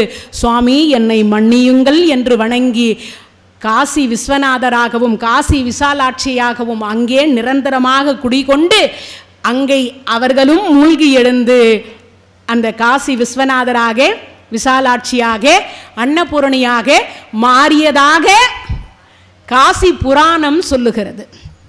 காசி புராணம் சொல்லுது. சரி இவ்வளவுதானா அந்த காசிக்கு பெருமை அப்படின்னு நினைப்பீங்க. என்னங்க நாலாவது தளத்திலேயே இருக்கு. இதுக்கு மேலே இன்னும் போகலையான்னா நாலாவது தளத்துதே இன்னும் பெருமை நிற்கிது இன்னும் ஒரு பெருமையை சொல்லிட்டு அஞ்சாவது தளத்துக்கு போகலாம். சரி கங்கையினுடைய பெருமை இன்னும் ஒன்று. என்ன அப்படின்னு கேட்டீங்கன்னா இங்கிருந்து ஆதி சங்கரர் என்று சொல்லக்கூடியவர் காசியம்பதியில் அங்கு ஸ்ரீசக்கர வடிவம் என்று சொல்லக்கூடியதை அமைத்துவிட்டு வழிபாடு செய்கிறார். அவருக்கு ஒரு முறை சந்தேகமெல்லாம் இல்லை. அங்கு ஒரு மகான் வந்தார். அவர் ஒரு பக்கம் உட்கார்ந்துருக்கார் இவர் ஒரு பக்கம் உட்கார்ந்துருக்கிறார். ஒரு நடைமுறை கதை அப்படிங்க நடந்துட்டு இருக்கு. வந்த மகான் பார்த்தார் இந்த கங்கை இவ்வளவு பாவத்தை சுமந்து கொண்டிருக்கின்றாலே இவ்வளவு பாவத்தையும் சுமந்து கொண்டிருக்கக்கூடியவளா என் பாவத்தை போக்க போகிறாள்னு அப்படி கரையில போய் கால் வைக்க போனவர் கரையிலிருந்து எடுத்துட்டார். உடனே கங்காதேவிக்கு மிக மிக வருத்தம். என்ன இது? இவர் கால் வச்சு நீராடுவார்னு பார்த்தா இந்த மகான் நம்ம இடத்துல நீராடாமையே போகிறாரே சரி இவர்கிட்ட கங்காதேவியா போய் ஆயிரம் தலை ரெண்டாயிரம் கையோட போனா பயந்துருவார். எப்படி போகிறதுன்னு பார்த்தார். ஒரு ஒன்பது வயசு குமரி சின்ன குழந்தையாக வடிவத்தை எடுத்துக்கொண்டு அங்கிருந்து போ மகான் புறப்பட்டு அப்படி போறார். சுவாமி நில்லுங்கோ வணக்கம்னு. இந்த குழந்தை. குழந்தை வணக்கம். ஆமாம் கோடிக்கணக்கான பேர் அங்கு நீராடி கொண்டிருக்கிறார்கள் சுவாமி. நீங்கள் மட்டும் இப்படி நீராடாமல் போகிறீர்களேன்னார் அதை கேட்ட அடுத்த வினாடி அதற்கு அந்த மகான் பதில் சொல்கிறார் அம்மா உனக்கு ஞான கண்ணை தரேன். இந்த கங்கையை கொஞ்சம் உற்றுப்பார் உற்று பார்த்தா. ஒரு பக்கம் மலஜலம் ஒரு பக்கம் பிணக்குவியல் ஒரு பக்கம் பிணத்தினுடைய சாம்பல். இவ்வளவும் கரைக்கிறாங்க. இவ்வளவு பாவத்தை சுமக்கக்கூடியவள் என் பாவத்தை எப்படி போக்குவா? இதை கேட்ட அடுத்த வினாடி அந்த குழந்தை சிரிச்சது. என்ன சுவாமி ஒரு மகானாக இருந்து தங்களுக்கு இது தெரியாதா. அம்மா தெரியாதனால தான் கேட்குறேன் சுவாமி என் வயது சிறியது. நான் சொன்னால் ஏற்றுக்கொள்வீர்களா? ஏற்றுக்கிறேன் என்ன? அறிவு இருந்து யார் சொன்னாலும் ஏற்றுக்கணும் ஞான சம்பந்த பெருமான் வந்து சிறியவர். அப்பர் பெருமான் வயசு பெரியவர். ஞான சம்பந்த பெருமான் பாடிட்டே இருந்தார். ஞான சம்பந்த பெருமான் பாடினார். அப்பர் பெருமான் பாடினார். இப்போ ஞான சம்பந்த பெருமான் பாடி கதவு திறந்ததா? யார் பாடின உடனே கதவை திறந்தது? அப்பர் பெருமான் பாடிட்டு இருந்தார் கதவு திறக்கல. ஞான சம்பந்த பெருமான் பாடிய உடனே கதவு திறந்துருச்சு. உடனே சொன்னார் அப்பா எனக்கு அந்த திருவருள் இல்லை போலும்னார். சுவாமி நீங்கள் பாடிய செந்தமிழில் அவர் மயங்கிட்டு இருந்தார். என் நான் பாடிய தமிழ் அவருக்கு கசந்து விட்டது. உடனே கதவும் திறந்து விட்டது அப்படின்னார். என்னென்னா வயசு முக்கியம் அல்ல வயசு அந்த இடத்துல முக்கியம் அல்ல வியாச பகவான் இருந்தார். ராஜசூய வேள்வி நடக்கிற பொழுது தர்மராஜா வேள்வி செய்கிற பொழுது வியாச பகவான் அங்கே இருக்கின்றார். முப்பத்தி முக்கோடி தேவர்கள் ஒரு பக்கம் புடை சொல்ல இருக்காங்க. அங்க பெரியவர்கள் திருதராசர் இருக்கிறார். எட்நூத்தி எண்பத்தி ஆறு ஆண்டு காலம் உயிரோட இருக்கக்கூடியவர் பீஷ்மர் அங்க இடத்துல இருந்தார். தர்மராஜா கேட்டார் ஆர்கோலோ முதல் பூஜைன்னார். நான் அந்த யாகம் வளர்த்து கொண்டிருக்கிறேன் இந்த முதல் பூஜையினுடைய பலனை நான் யாருக்கு கொடுக்கணும்னு கேட்டார். அதுக்கு வியாச பகவான் ஒரு பதில் சொன்னார். அப்பா இங்கு வயசு முக்கியம் அல்ல அனுபவம் முக்கியம் அல்ல இங்கு யார் பெரியவர் என்று சொல்லக்கூடிய அறிவு என்கின்ற ஒன்று முக்கியம். அது ஆண்டவனாக இருக்கக்கூடிய கிருஷ்ணருக்கு தான் இருக்கின்றது.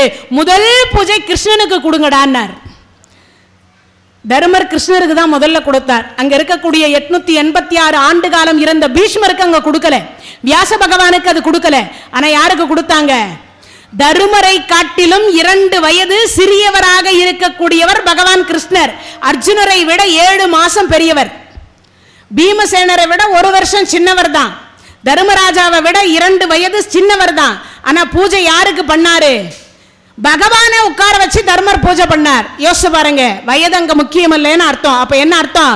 அறிவு தான் அந்த இடத்துல பிரதானம் என்பது பொருள். இப்போ இந்த குழந்தை சொல்றத அந்த மகான் நான் ஏற்றுக்கொள்றேன்னார். சுவாமி கங்காதேவி அவரிடத்தில் அந்த பாவங்களை வைத்துக் கொள்ளுவதில்லை. அதை சமுத்திர ராஜனிடத்தில் கொண்டு போய் கொடுக்கின்றாள். அந்த பாவம்லாம் எங்க போகுது? சமுத்திர ராஜன் கிட்ட போகுது. நீங்க வேணும்னா சமுத்திரராஜன் இடத்துல போய் கேளுங்கன்னார். இந்த மகான் நேராக சமுத்திரராஜன் இடத்துல போய் சமுத்திரத்துக்கு உள்ளர இறங்கினார். ஏ சமுத்திரராஜா அனைத்து கங்கையினுடைய பாவம் முழுவதும் கழுவிய பாவங்கள் அனைத்தையும் நீதான் சுமக்கின்றாயா? சமுத்திரராஜன் சிரித்து விட்டு அவர் ஒரு பதில் சொன்னார். ஐயா நானும் சுமக்கவில்லை. மேகராஜன் சுமக்கின்றான். வேண்டுமானால் மேகராஜனிடத்தில் கேளுங்கள். உடனே மேகராஜனிடத்தில் அவர்தான் மகானாச்சே பறந்து போய் அந்த பறந்து கொண்டிருக்கக்கூடிய மேகத்தினிடத்தில் போய் கேட்டார். அப்படி கேட்ட அடுத்த வினாடி மேகராஜன் சொன்னான் நானும் என்னிடத்தில் வைத்துக் கொள்ளுவதில்லை. அதை மழையாக பூமி மாதாவிற்கு கொடுக்கின்றேன். நீங்கள் வேண்டுமானால் பூமி மாதாவை கேளுங்கள். நேரா மேகராஜன் இடத்துல இருந்து மீண்டும் பூமிக்கு வந்தார். வந்த அந்த இடத்துல உடனே பார்த்தார் ஏ பூமி மாதா அப்போ பாவங்கள் முழுவதும் நீதான் சுமக்கின்றாயா? பூமி மாதா பதில் சொன்னாங்க நானும் என்னிடத்தில் வைத்துக் கொள்ளுவதில்லை. இது என்னடா இது? அப்ப நீங்க என்னவாக தருகிறீர்கள்னார் நான் செடியாக கொடியாக மனிதர்கள் உண்ணக்கூடிய அனைத்து ஜீவன்களும் உண்ணக்கூடிய உணவாக நான் அந்த மழையின் மூலியமாகத்தான் அவர்களுக்கு உணவு என்று சொல்லக்கூடிய பொருளை தருகின்றேன். இப்போ இதிலிருந்து உங்களுக்கு ஏதாவது புரிஞ்சதா? மகானுக்கே புரியல எங்களுக்கு எங்கேருந்து புரிகிறது? கங்கை என்று சொல்லக்கூடிய இடத்தில் நாம் செய்யக்கூடிய பாவங்களை போய் கழுவுகிறோம். அது சமுத்திரராஜனிடத்தில் போகிறது. சமுத்திரராஜனிடத்தில் இருந்து நேரடியாக மேகராஜனிடத்தில் போகிறது. மேகராஜனிடத்தில் இருந்து பூமி மாதாவுக்கு வருகிறது. பூமி மாதா இடத்திலிருந்து மீண்டும் எங்க வருது? நமக்கே வந்து கொண்டிருக்கின்றது. இது சுழன்று கொண்டே இருக்குது. இப்போ மீண்டும் இவர் காசிக்கு போய் கங்கை கிட்ட போய் அம்மா குழந்தாயினார். ஏம்மா இப்படியே சுத்தி சுத்தி விடுறதுக்கு பேர் தான் இந்த அம்மாவுக்கு பேர் கங்கை பாவம் போக்கக்கூடியவளா. இல்லை சுவாமி நீங்க முழுசா கேட்கறதுக்கு முன்னாடியே பறந்துட்டீங்க சமுத்திரராஜனிடத்தில். அதனால இப்போ அந்த முழு கதையை சொல்லுகிறேன் கேளுங்கள். என்னம்மா? அரிது அரிது மானிடராய் பிறத்தல் அரிது குருடு செவிடு பேடு நீங்கி பிறந்திருக்கக்கூடிய அனைத்து ஆணோ பெண்ணோ வாழ்க்கையில் எந்த ஒரு பாவமும் செய்யாமல் யாருக்கும் பரோபகாரம் இதம் சரீரம்.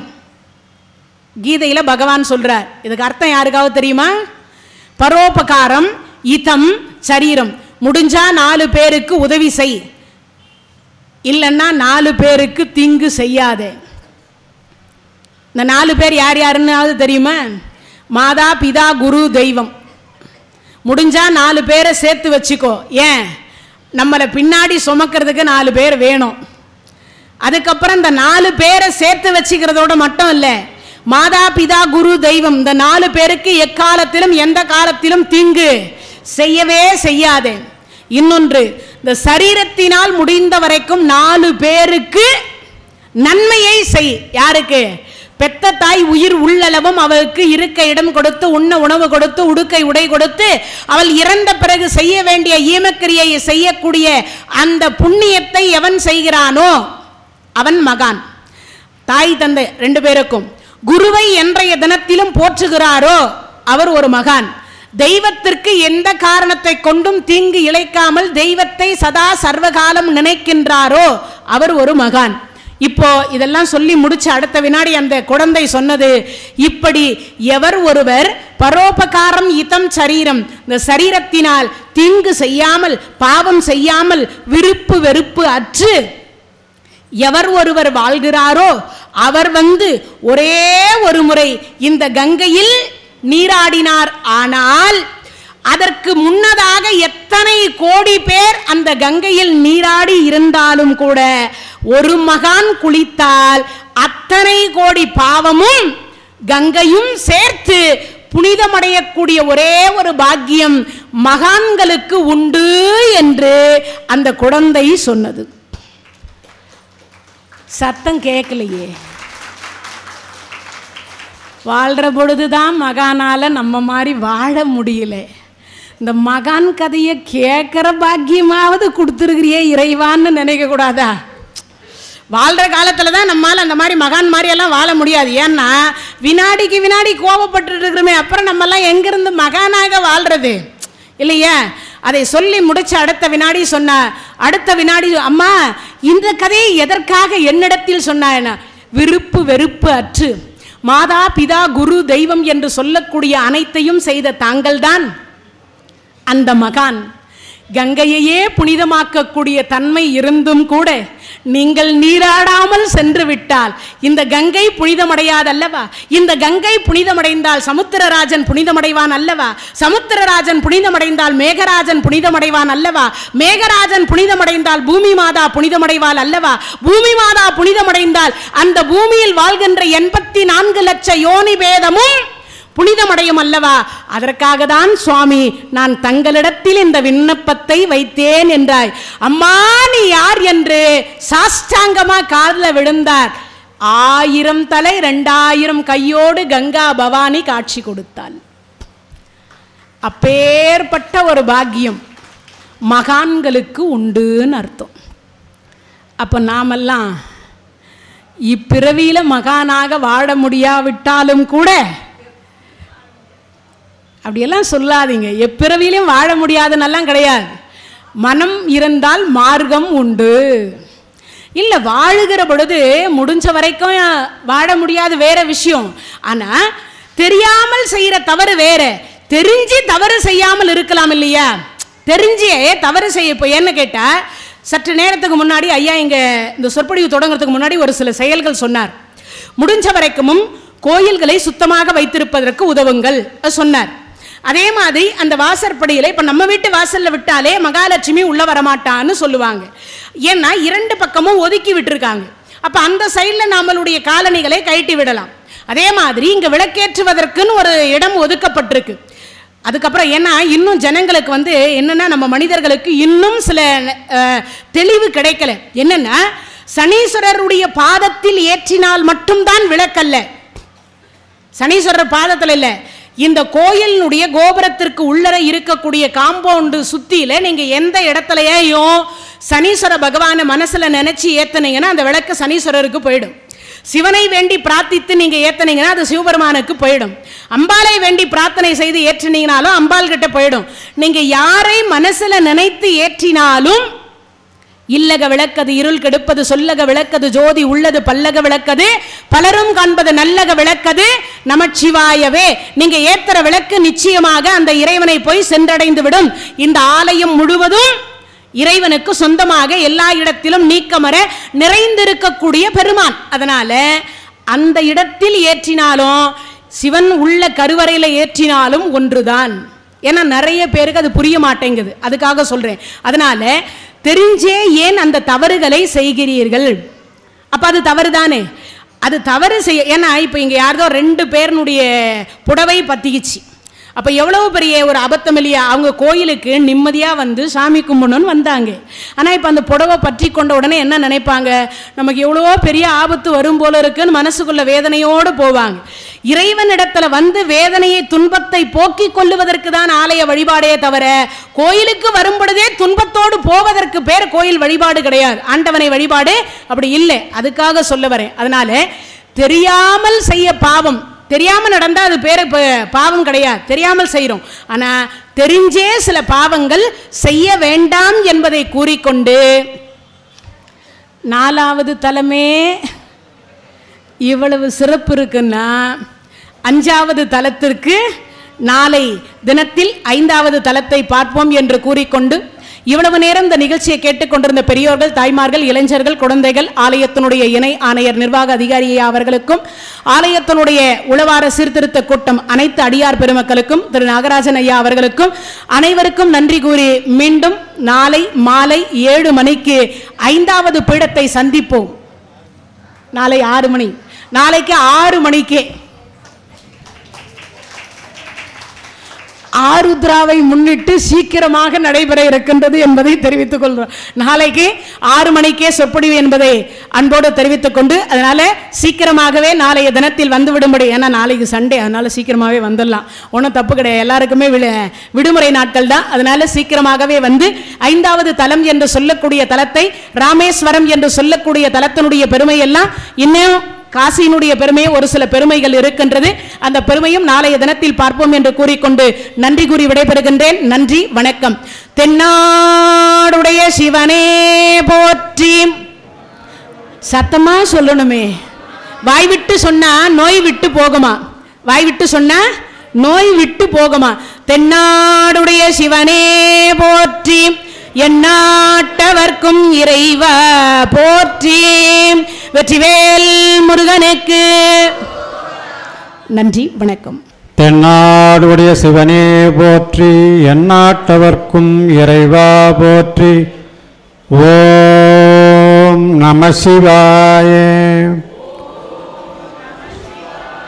ஓம் நம சிவாய. ஓம் நம சிவாய். ஓம் நம சிவாய். ஓம் நம சிவாய். வெற்றிவேல் முருகனுக்கு அரோகர. இந்த தகவல் உங்களுக்கு பிடிச்சிருந்தா லைக் பண்ணுங்க. உங்க ஃப்ரெண்ட்ஸுக்கு ஷேர் பண்ணுங்க. மறக்காம எங்க சேனலுக்கு சப்ஸ்கிரைப் பண்ணுங்க.